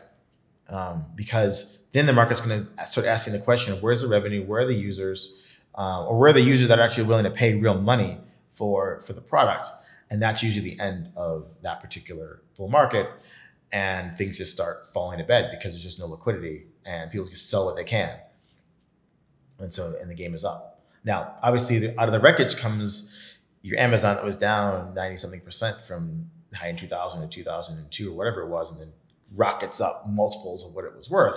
But the majority of us are not going to be able to find the Amazons. We're going to be finding the pets.com. Um, and so uh, that's the game. So it's trying to trying to invest in the theme and the liquid vehicles available and not getting caught up in the hype and putting your money into illiquid things that you can't sell when the mood turns. Hmm. That's really interesting. So uh, with your AI stuff, you're planning to be in a position where you are liquid by the time that that euphoria peaks. You see the FTX moment, and you exit. So you've this isn't something where uh, you're going to wait for that first moment where they say, "Okay, we're printing money," and then you're in. You're already deployed in some of the places that you're expecting to be ready to go at that time of euphoria. Yeah, so thankfully I have the, the capital position to do that, right? I can pay my bills um, with my income from just stuff, right? So I can actually be a little bit more early and wrong on things because I don't need the money. But for someone who does need the money, you're not going to have that opportunity to invest it in an AI startup or some crypto thing years before and now are receiving liquidity at the top of the market. You're going to have to be very disciplined to participating in the things that you know you can buy and sell on a day's notice and not get suckered into your boy down the street's got this new AI thing he's been cooking up and why don't you lend him some money or invest in his in his startup and in seven years he's going to go IPO right that's what gets you in trouble yeah you can buy the liquid stock and it goes on 90% but at least you can try to sell it you can't sell the term sheet and so that's where people get in trouble it's buying the liquid stuff that's predicated on the theme continuing forever. Okay, so that is the first part of the wave. Everything goes up. Um, looks like it's going to last forever, but then we get the big explosion. We lead to something like the Great Depression. Um, how does that party end? Just all the money got poured into um, the new hype thing. Let's say it's AI. Uh, and what makes the music stop? Well, if we've already bailed out, if we've already printed money to do yield curve control and the system is still buckling, whether that's the price of oil is a thousand dollars a barrel now or, or something like that, it's gonna be some energy component of it that, or you know, the cost of end of life care is millions of dollars, right? You can't print healthcare, you can't print oil, right? So these are the things that are gonna go up massively in price and then the system just breaks because people are like, holy, hold on a second. Like, yes, the government bond yield is two and a half percent, and the banking system is solvent on a nominal fiat basis, but it cost me ten thousand dollars to fill my, my gas tank. Just being obtuse here, right? And then there's social unrest because I can't get enough to eat, or you've broken the promise of the the lifestyle that I'm supposed to live, being in this country, but I was promised to vote for you, and, and I'm no longer going to be there. And then it's okay. Well, if I don't have it internally, let me go out and get get it somewhere else, right? Oh, don't worry, everybody. We're gonna go over there and take their shit and give it to you. So support me as a politician, right? And trade no longer becomes the way in which we acquire the things we need. We resort to force, and then that's unfortunately how we, we lead to conflict. Okay. Um, so is to when you look at that, is this a U.S. China conflict? Do you see that going um, hot? Uh, hopefully not. I mean, maybe it's. I think it's. Um, I forgot. I can't pronounce her last name. Uh, Pippa M something or other.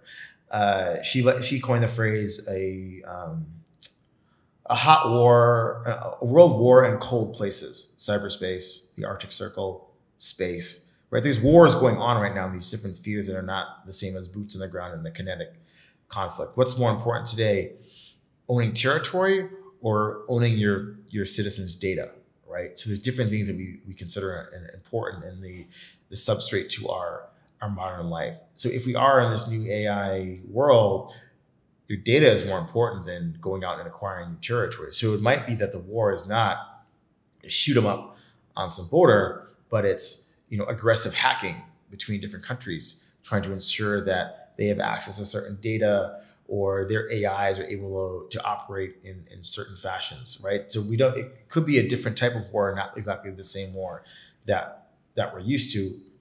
Maybe that's even more dystopian. I don't know.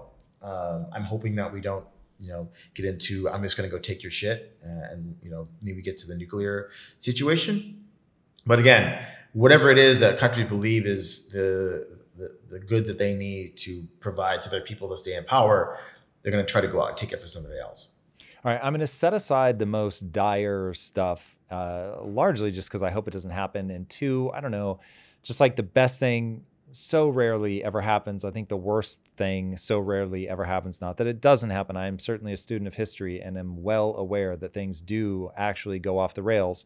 Um, but let's take a, a scenario where we don't end up in a hot war, but we do get that rubber band snap effect. We just printed too much money. Uh, gas tank is way too expensive to fill. We do have the social unrest. Uh, government does lock things down, put in capital controls. Um, we do more silly things like sanctioning countries, and so they're terrified of buying our debt. And we just end up in a position where um, other countries are incentivized to begin to break away from the dollar. Do you see a real threat to de dollarization? And if so, how does that impact the average person? So, de dollarization um, negatively impacts the financial elite of America it could have zero, if any, impact to the average American um, because I've argued in some essays that the current system of you know the fiat financial system that works in America doesn't really benefit the average American. It benefits New York and you know San Francisco and LA, right? Essentially the coast. People who are in finance, people who are in tech, right? The average America as a place is a great you know landmass, right? It has enough food to feed itself. It has enough oil. I think U.S. is either number one or number two largest oil producer in the world, right? I think number has, one, yeah, is, which I was surprised. It's, it's, protected by two oceans, and Canada and Mexico. You might as well just call part of America, right? And if you count the Mexican population and growth in terms of um, their demographics, America actually um, can hit the replacement rate of like was it 2.05 kids per, uh, per per woman, right? So as a economic unit, America is unique in that it can become um, an autarky, and it basically was until World War One. Uh, and so it can go back to that place, but the current crop of people who are in power uh, would lose standing in that sort of situation, which is why they continue on carrying about what the value of the dollar is, because their wealth is international companies where half the you know, half the business is abroad, where the workforce is in China, Vietnam, wherever, right? It's not in America. So de-dollarization is, you know, pointed at this big thing and America needs to protect the dollar, but for who? It doesn't actually benefit the manufacturing worker, uh, the UAW, you know, union worker or the UPS truck driver, right? I mean, so it's it's a question of what the political system is there to benefit. Who is it there to benefit? And so America and the de-dollarization, it's you know banning about it's a super bad thing. And yes, it's bad for some people who are tied to the fiat financial system and that's where their wealth is. But if you want to think about it from the average American person, made in America is great. Wages for the bottom 50% rise. They have better purchasing power. Yes, stuff is more expensive, but at least they're able to get it. There's lots of parts of the world, and Europe is probably the most fucked, where they don't have population growth, they don't have energy, and they don't have enough food. That's where you probably could see a big uh, internal conflict again as the edifice of the euro is crumbles where these countries are like don't want to be tied to a bunch of faceless bureaucrats in brussels who tell them what to do do you see that as a real concern? I didn't realize that europe was um, higher risk. Yeah I, I, think europe is higher risk because again it's dying like the rest of the western world. Um, it doesn't have energy security. It doesn't have food security. Um, I mean, most of the productive region of Germany was powered by Russian gas, right? The, Euro- the Ukrainian breadbasket um, helps feed a lot of Europe, right? Um, North African oil and natural gas helps keep things running in, in most of uh, in most of Europe. And so, removing those things, uh, Europe's fucked. The euro's fucked. It's a poor. It's a construct. You know, this I'm, I'm quoting, um, paraphrasing uh, macro guy Felix Zulauf. The euro was created to keep France strong and Germany weak, um, and it's it's attempting to paper over these differences in um, econ- economics with this structure that just doesn't work. And it'll come to a head when all of a sudden there's just not enough stuff to go around. And Europe's traditional trading partners are like, well, you're, you're if you're going to be aligned with the US, then we're no longer going to sell you stuff on a preferential basis. There's no, no longer any Russian gas. There's no longer a bunch of West African countries willing to sell you stuff cheaply. Um, we're just going to let you figure it out yourself. Uh, and what's the answer? Print more money. But again, with the euro perspective, you have a bunch of countries that think that they, you know, are some sort of democratic, you know, polities, and the population might be like, why do we have this euro anymore? But there's obviously if an elite that likes the euro, and that could come to blows. Okay, so uh, I've talked to Ray Dalio several times, and one of the things that I'm asking him routinely is because he sees so much disruption coming uh, what do we do about it? Where do we go? And he keeps drumming this idea that what matters is how people treat each other. And he said, you want to be somewhere where people are treating each other well, there's rule of law, that you can trade. Um, what what is the move? And is this how crypto enters your thesis? What is the move if the Western world does get dramatically disrupted, either uh, hot wars in cold places, um, or capital controls. So the government is um, trying to lock things down, yield curve control. You know, they're just doing all of those things to continue to prop up the system. Um, what's the play? Is you obviously are American, but you do not live in America. Um, yeah, how do you think about that step? And is cryptocurrency part of that?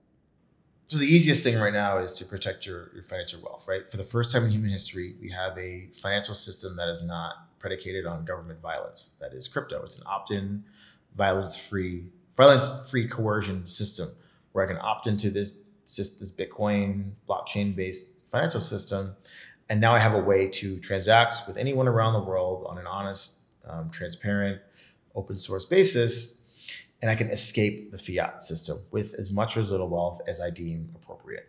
Right. So now I have the ability to take my wealth outside of the government system. And unlike gold, nobody knows how much crypto I have. I can store my crypto in my head. I can memorize my private keys um, and my, my seed phrases and restore any of my wallets. And not that I do this, but you can do it if you if you're good at that. So you can hold as much wealth that you could in Fort Knox in your head. That's absolutely revolutionary. Um, and so that's has, we have the financial freedom if you choose to use it.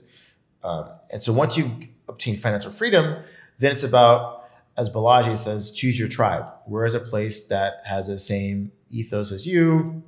You know, has a good food supply, the weather, you like the weather, but most importantly, you like the community of people who are there. And there's no prescriptive of where that is. That's that's very personal. Um, maybe it's where you are right now, and the only thing you need to do is obtain your financial freedom, such that if the borders close and whatever, you're cool.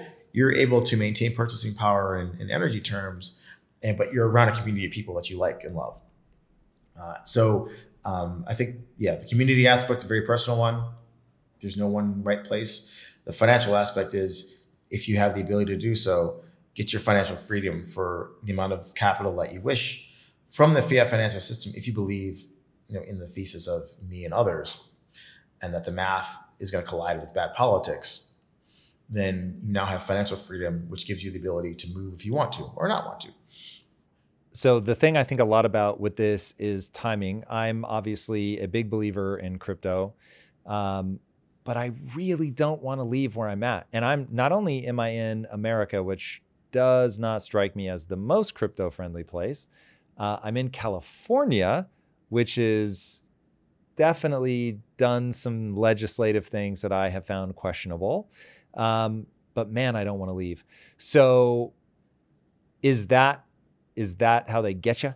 Like that you just wait until it's a little too late, or um, did that play into your decision to move out of the U.S.?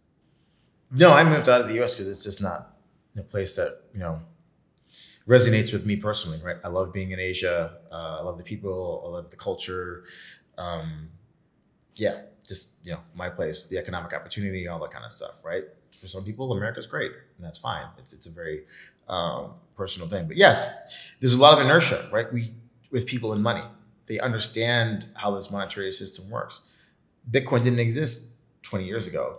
You're really going to take your hard-earned money and you're going to put it in magic internet money with a bunch of people with like pink, pudgy penguins and crypto punks as like avatars who are like debating macroeconomic policy on, on Twitter and other social media platforms you might think these, you know, we're a bunch of fucking clowns over here, right? And so like, why would I, why would I trust this financial system versus the man or the woman in a navy suit uh, with an Hermes tie and a pair of Louboutins on, right? And so it's all these things that factor into whether or not you trust the financial system or not.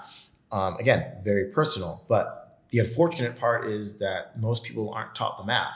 They don't understand how a bond works. They don't understand how a bank creates and removes credit from the system they understand why mathematically this this cannot continue the way it, it's it's going, and that there will be a reckoning. And history has told us the exact playbook they're going to use. It's not as if they're hiding it from us. There's paper upon paper written about exactly how to financially repress a population, to make sure money doesn't leave the banking system, to use the banking system to purchase the government debt at a level the government can afford that is below the level of growth in the economy, such that the government profits. This has all been written about. You can read it on the internet. But most people are too lazy or too distracted or they, they work a job and they're just too tired to open up a book and read. Um, but it's all there for you to read. And if you read it all, you'll understand very quickly that this situation cannot continue and you have to do something. And that something depends on your financial position. Obviously, I'm in the position to put a lot more of my wealth into crypto and not care um, too much where the price goes. Maybe you're not. The, the most insidious part of inflation is that the poorer you are, the harder, the more percentage of your income is spent on energy. Therefore, the more inclined you are to become a degenerate speculator because the little bit of money you're able to save, you need to lever up so much just to make an impact uh, on the depreciation of your wages versus the cost of uh, food and fuel that you make bad choices, especially if you're not educated about what these financial markets are because that's been essentially government policy globally is to keep people in the dark about how money works so they just blindly trust the supposed person in power. Yeah, that's something that I heard you say that uh, really hit me, which is that inflation makes a speculator out of all of us. Uh, speculation is the one thing that really I find super unnerving. That I, to me, speculation and gambling are basically the same thing. Like people are just taking a guess. Uh, how is it though that people cannot understand the system and yet still feel the force that compels them to be a speculator? Is it that they're looking at their wife and their kids and they're like, I'm only going to get a 2% raise, but I can feel that that's not enough. Like, I don't even know if they like, it doesn't seem like they would think through all of that. So, what is the instinct that kicks in that makes people speculate?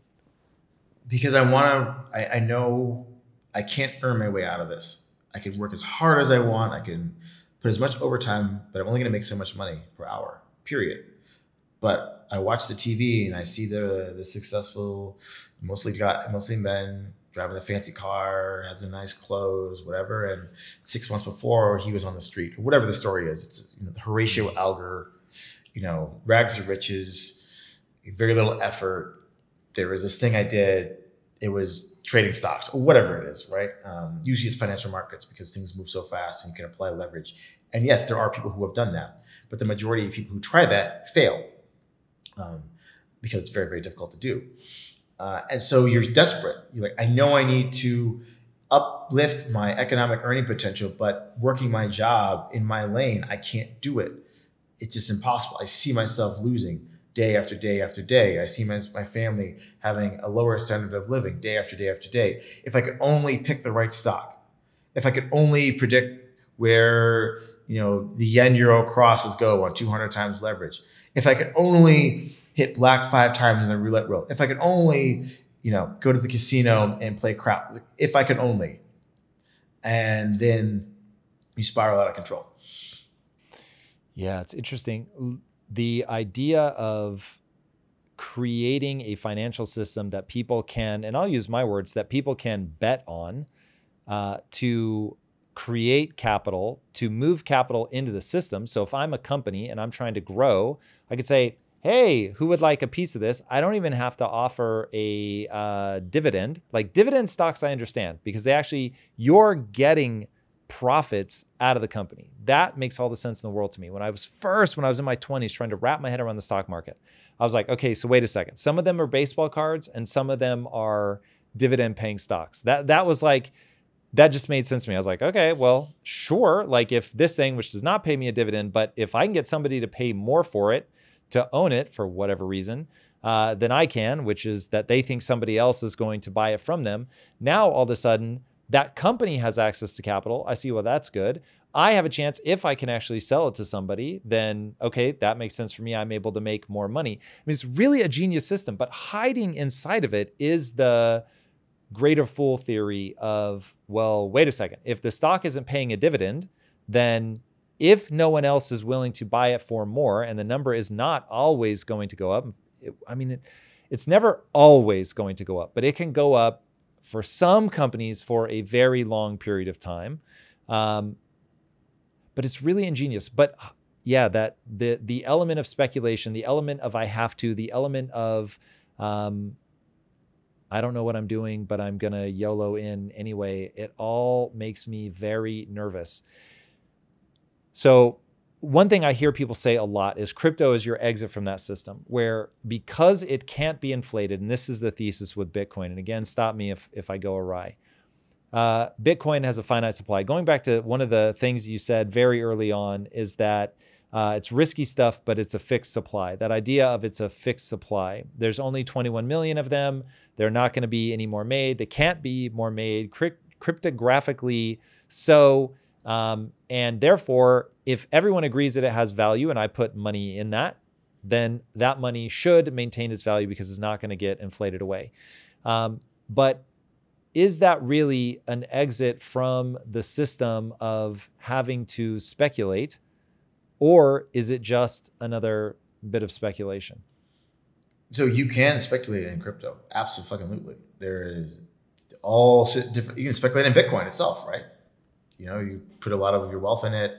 it it's very volatile. It goes up and down a lot, right? Um, so when you're moving yourself out of the speculator category, if you're putting a you know a certain amount of money into crypto, for example, and you say I'm going to assume this goes to zero and I'm not going to care, then you're not speculating, right? You're speculating on a future, but again, your lifestyle is not going to be impacted.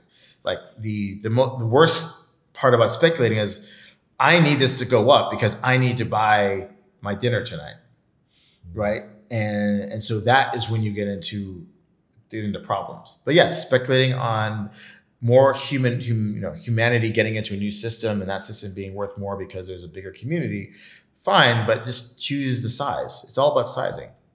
No one knows the future. We're speculating every second of every day, every step we take, right? We're speculating on things. We have informed you know, historical experience to say that this thing is less risky than the other, but none of us know what the future holds. We're always speculating. The question is the size and the risk, right? Don't put your whole net worth in into crypto where if the price goes down a little bit, you can't eat. That's not smart. Seems that don't put your money in the S&P 500 or or you know some other stock indice. Um, and go long, you know, too much where if it goes down 1%, you can't eat, right? Again, it's all about you know, creating a system that works for you and where your financial position is in life.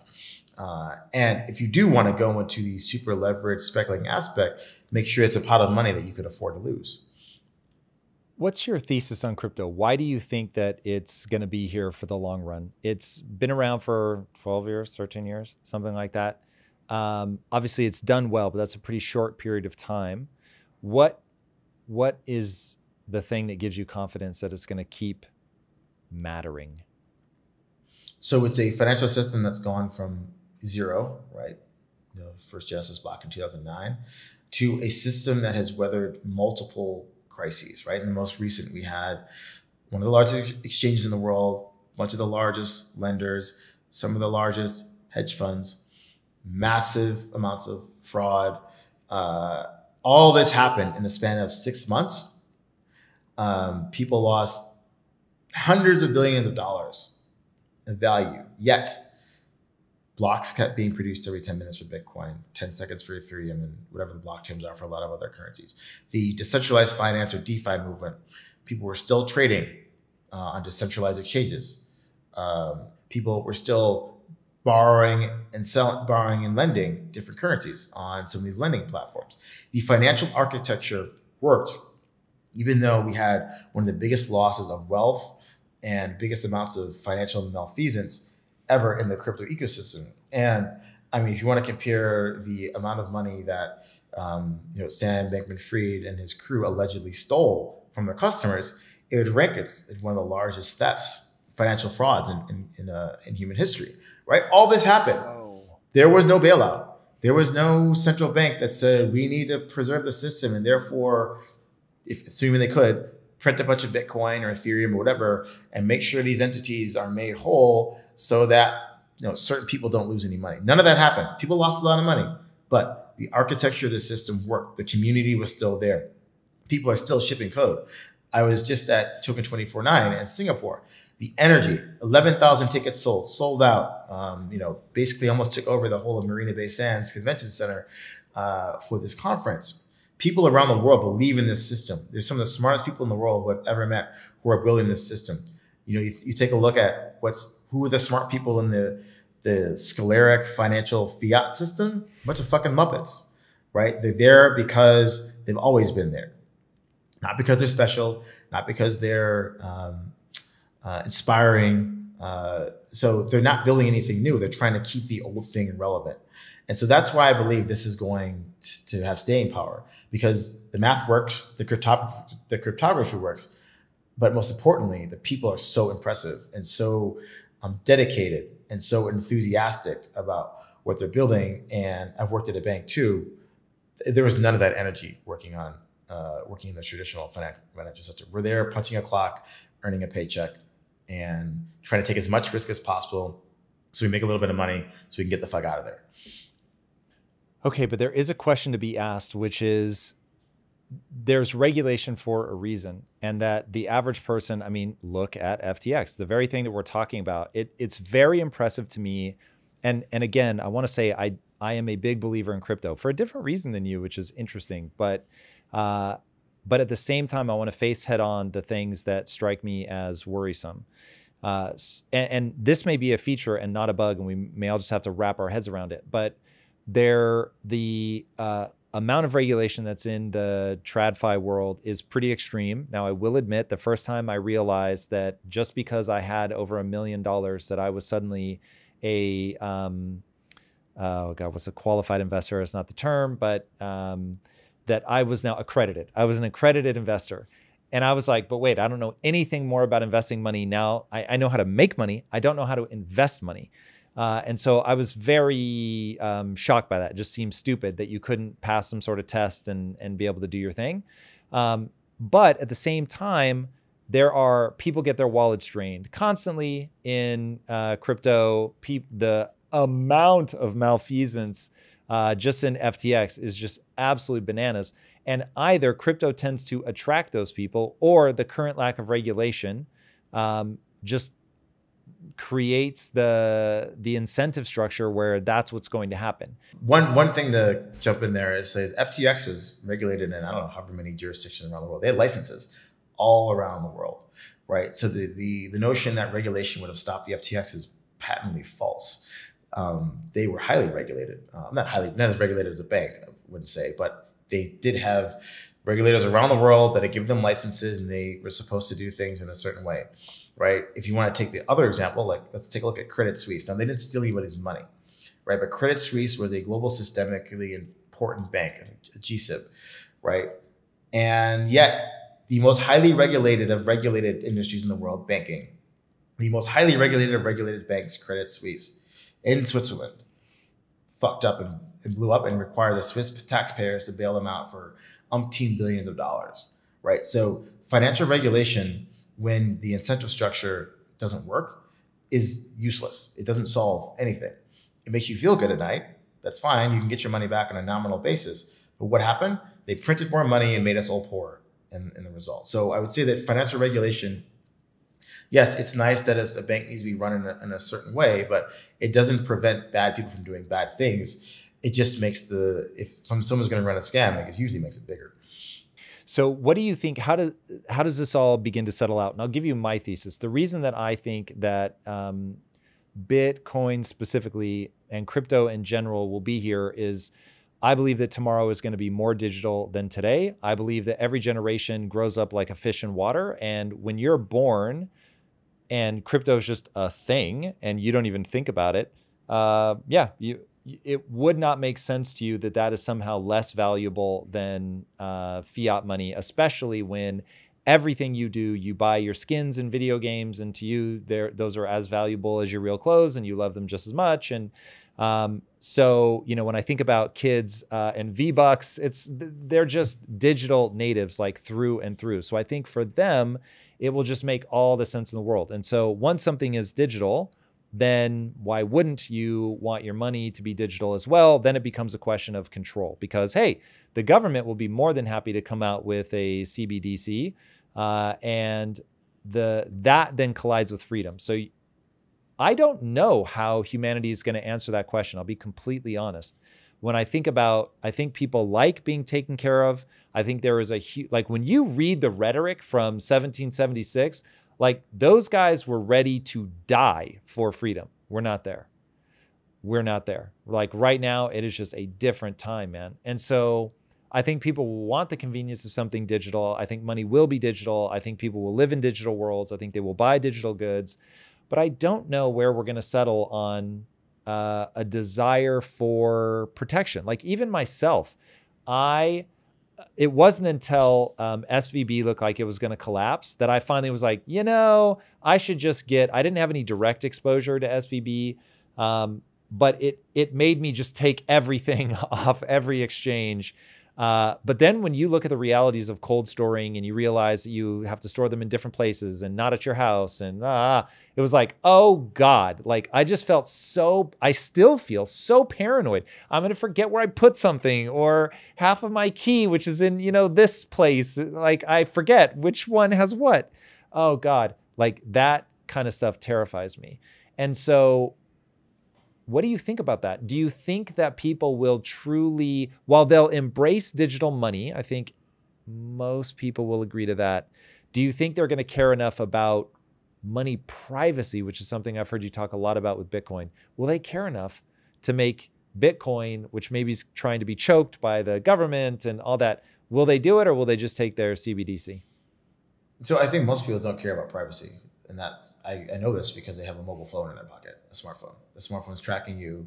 Um, we voluntarily have given the most amount of information about ourselves to Facebook, Google, Alibaba, WeChat, all these things, right? Because we want community, we want to communicate with each other, um, we want to look at thirst traps, whatever the reason is, right? Um, uh, we, we've done this. No, the government didn't force us to do this. These were private companies creating these products, right? So most people, as you said, it's just too much to be financially independent to actually be your own financial institution for a lot of people is is just too much. And they're going to stay in in the system. And uh, i like to say that there's a there's a flood coming this you know inflationary uh, maybe pseudo collapse of the fiat financial system. There's an there's a noah's got an ark of you know satoshi down there with bitcoin.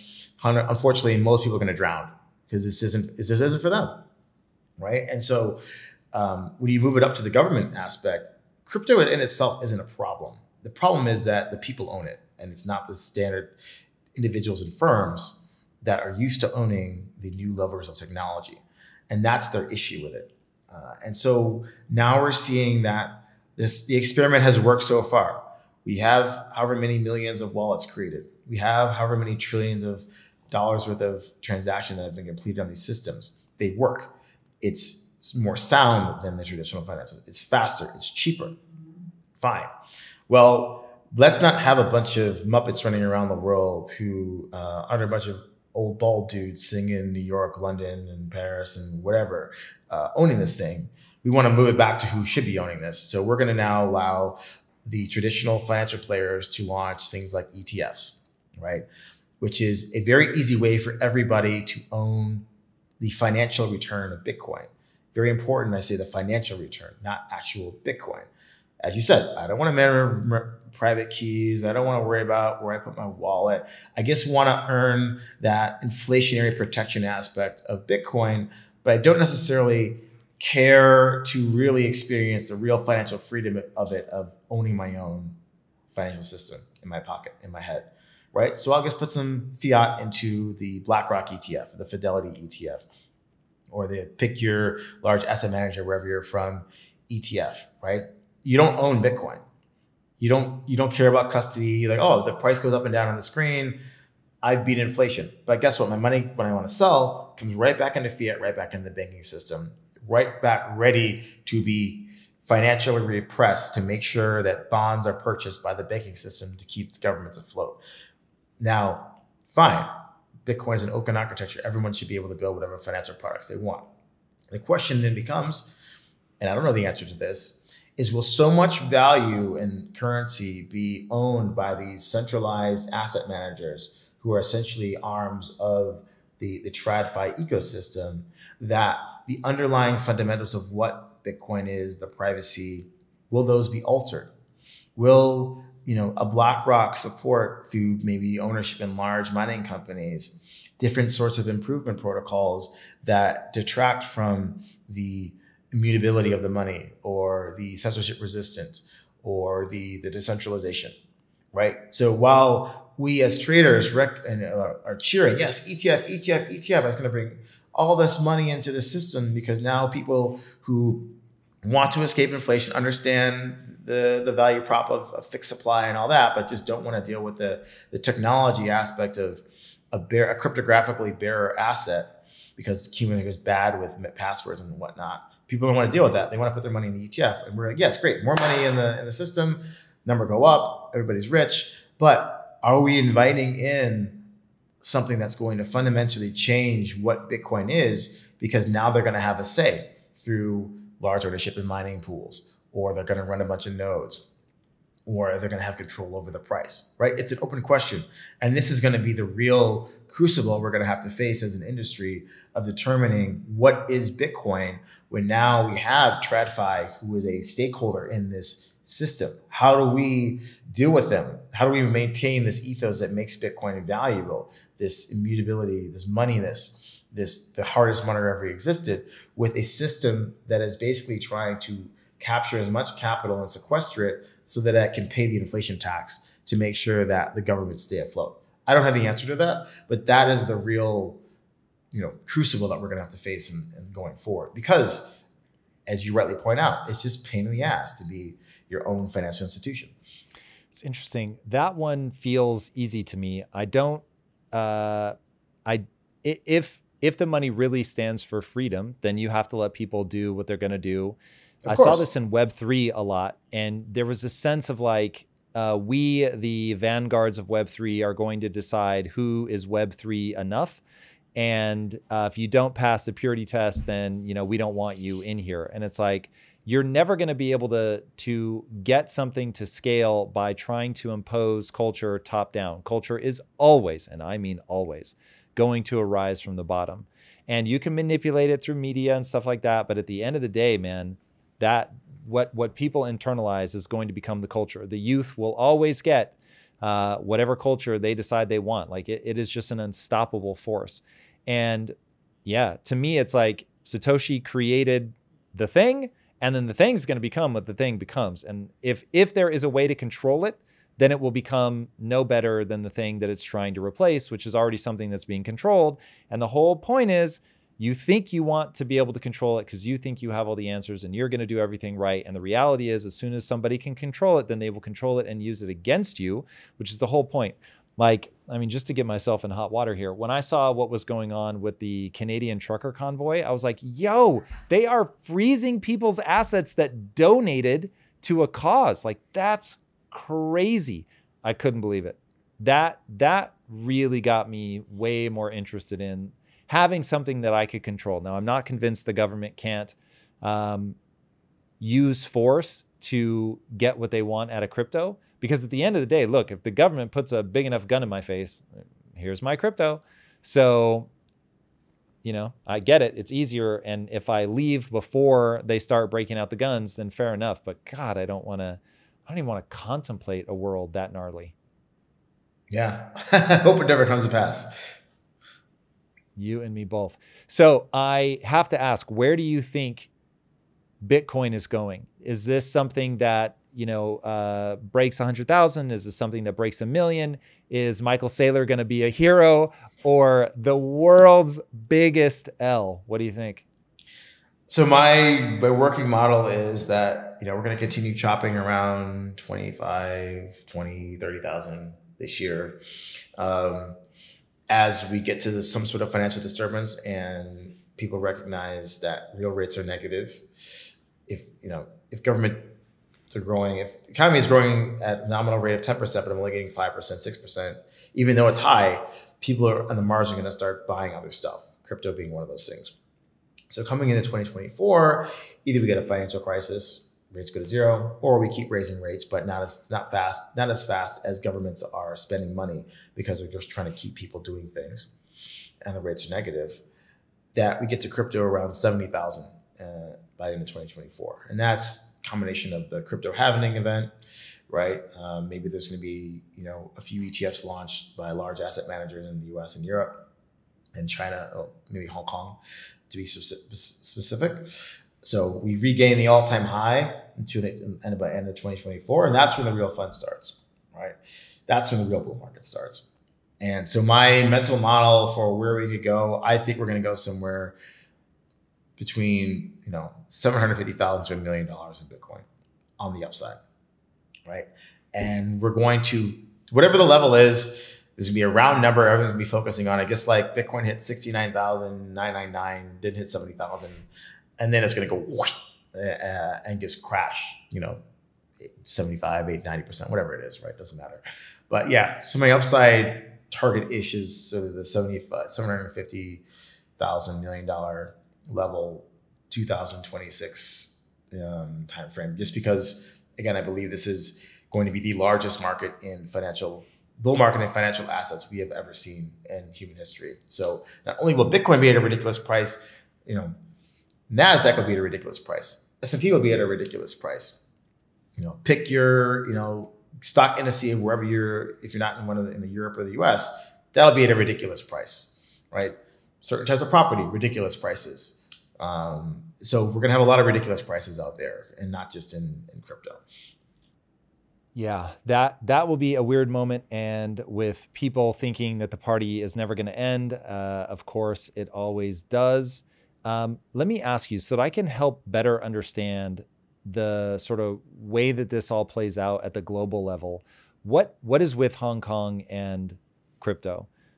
China clamped down really hard. It seemed like that was a really bad sign for me. I was like, whoa, this was the thing that I was concerned about that a government would be able to effectively eliminate it from its country. Uh, not that they'd be no, able to China never it, eliminated crypto. They never eliminated crypto from China. Tell me more. So the the you know if you want to think about from the Chinese government perspective, the thing that they most they care most about is social stability, right?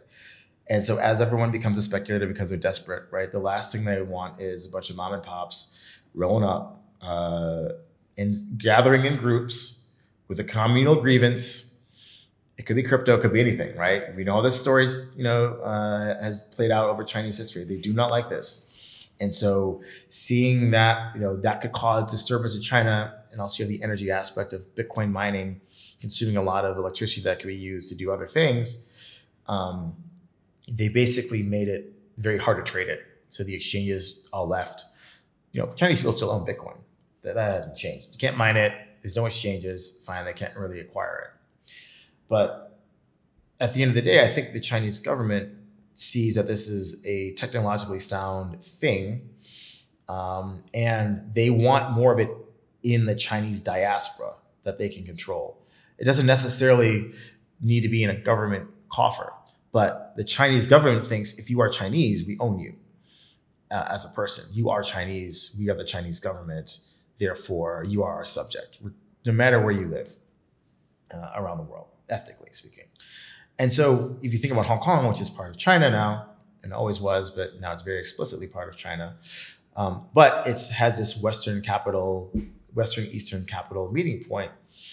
If they want to experiment in allowing a more general um, ownership of crypto, or if they want to allow certain types of Chinese individuals to own crypto through Hong Kong regulated financial institutions, which essentially means that they're controlled by the Chinese government in the same way that BlackRock is controlled by the US government. It's no different.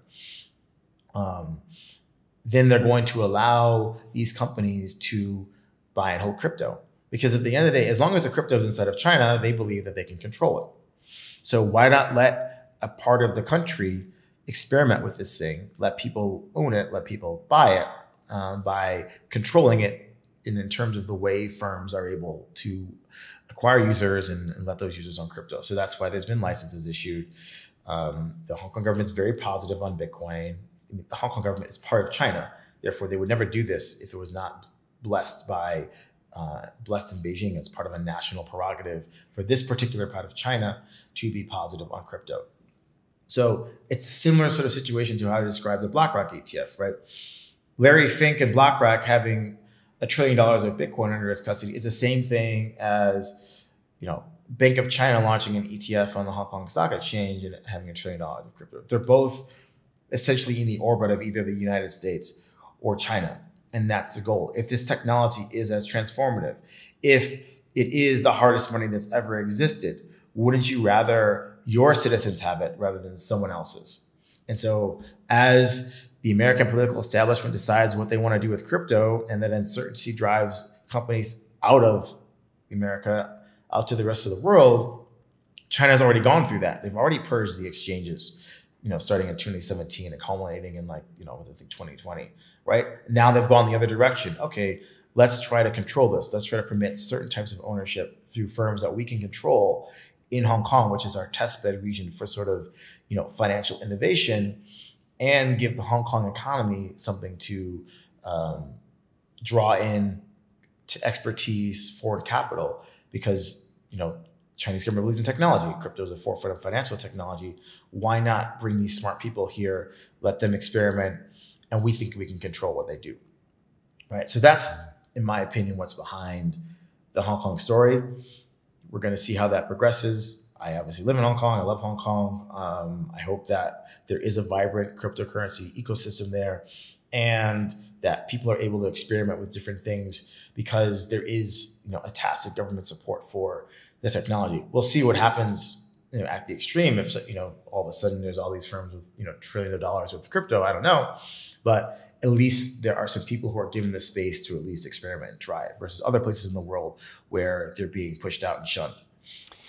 Yeah, I'll be very interested to see how it plays out. I was super intrigued when China opened that back up in Hong Kong. It made me realize, okay, maybe they're not as negative as I thought they were. And like you said, this is really an element of control, uh, which does make me super uneasy in terms of uh, just governments having more control than I am comfortable with. But uh, I fully recognize uh, that the way that it's looked at, and as somebody who lives there, you can certainly speak to this better than I can, that it's not necessarily one is better than the other. They are just different. But man, from my perspective, it just seems better uh, to be free. But I, I won't try to export my values.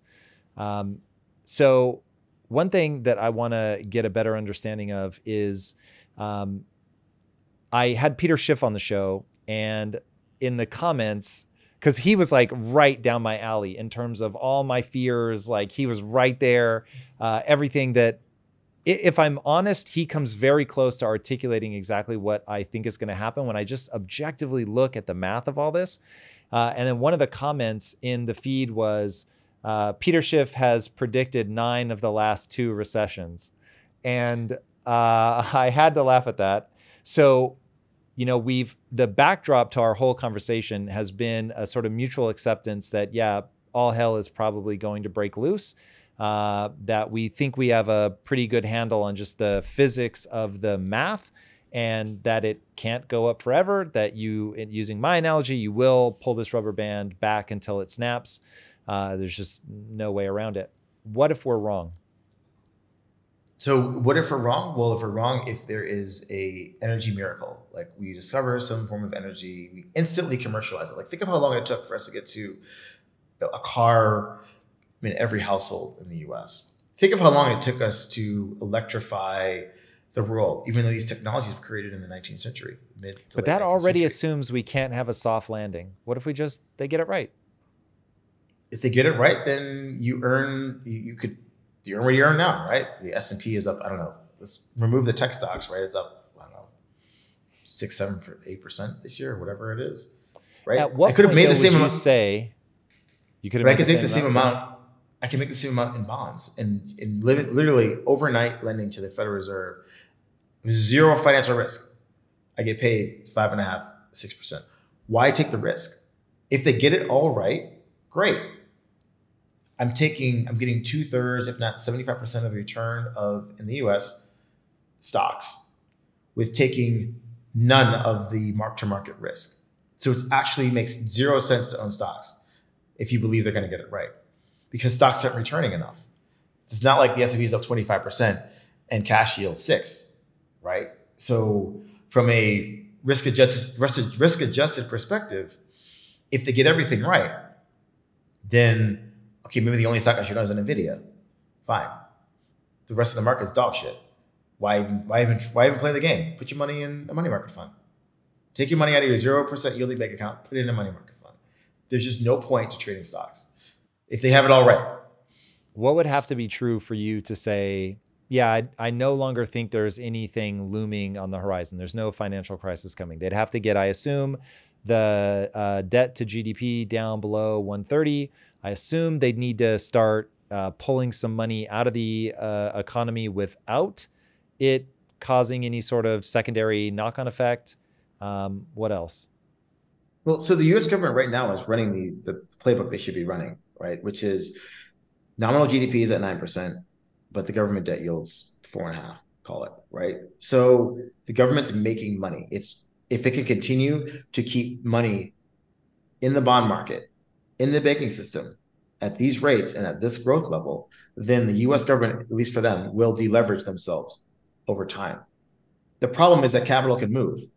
So we're making the assumption that capital doesn't move. So if for my for the you know Goldilocks scenario, number one, no capital leaves the long-term bond market when they have a negative real yield, right?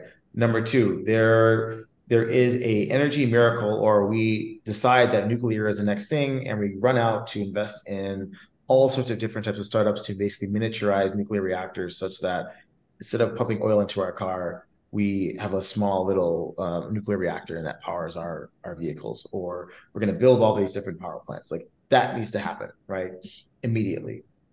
That those are the things that was okay. Maybe I'm wrong, and we're going to have sort of an acceleration in energy productivities. Therefore, I should own a company that makes real stuff apart from you know semiconductors. Otherwise, I'm just putting money in overnight bonds because at this the second they cut the rates, cool. I don't care. I didn't lose any money. I just take my money out of the bonds and I go buy stuff, right? But I'm definitely not going to own long term long end bonds. That that trade is negative EV, negative expected value in my perspective. I don't see how they get all these things right before money leaves the system, saying fuck this. I want nine percent, not four and a half.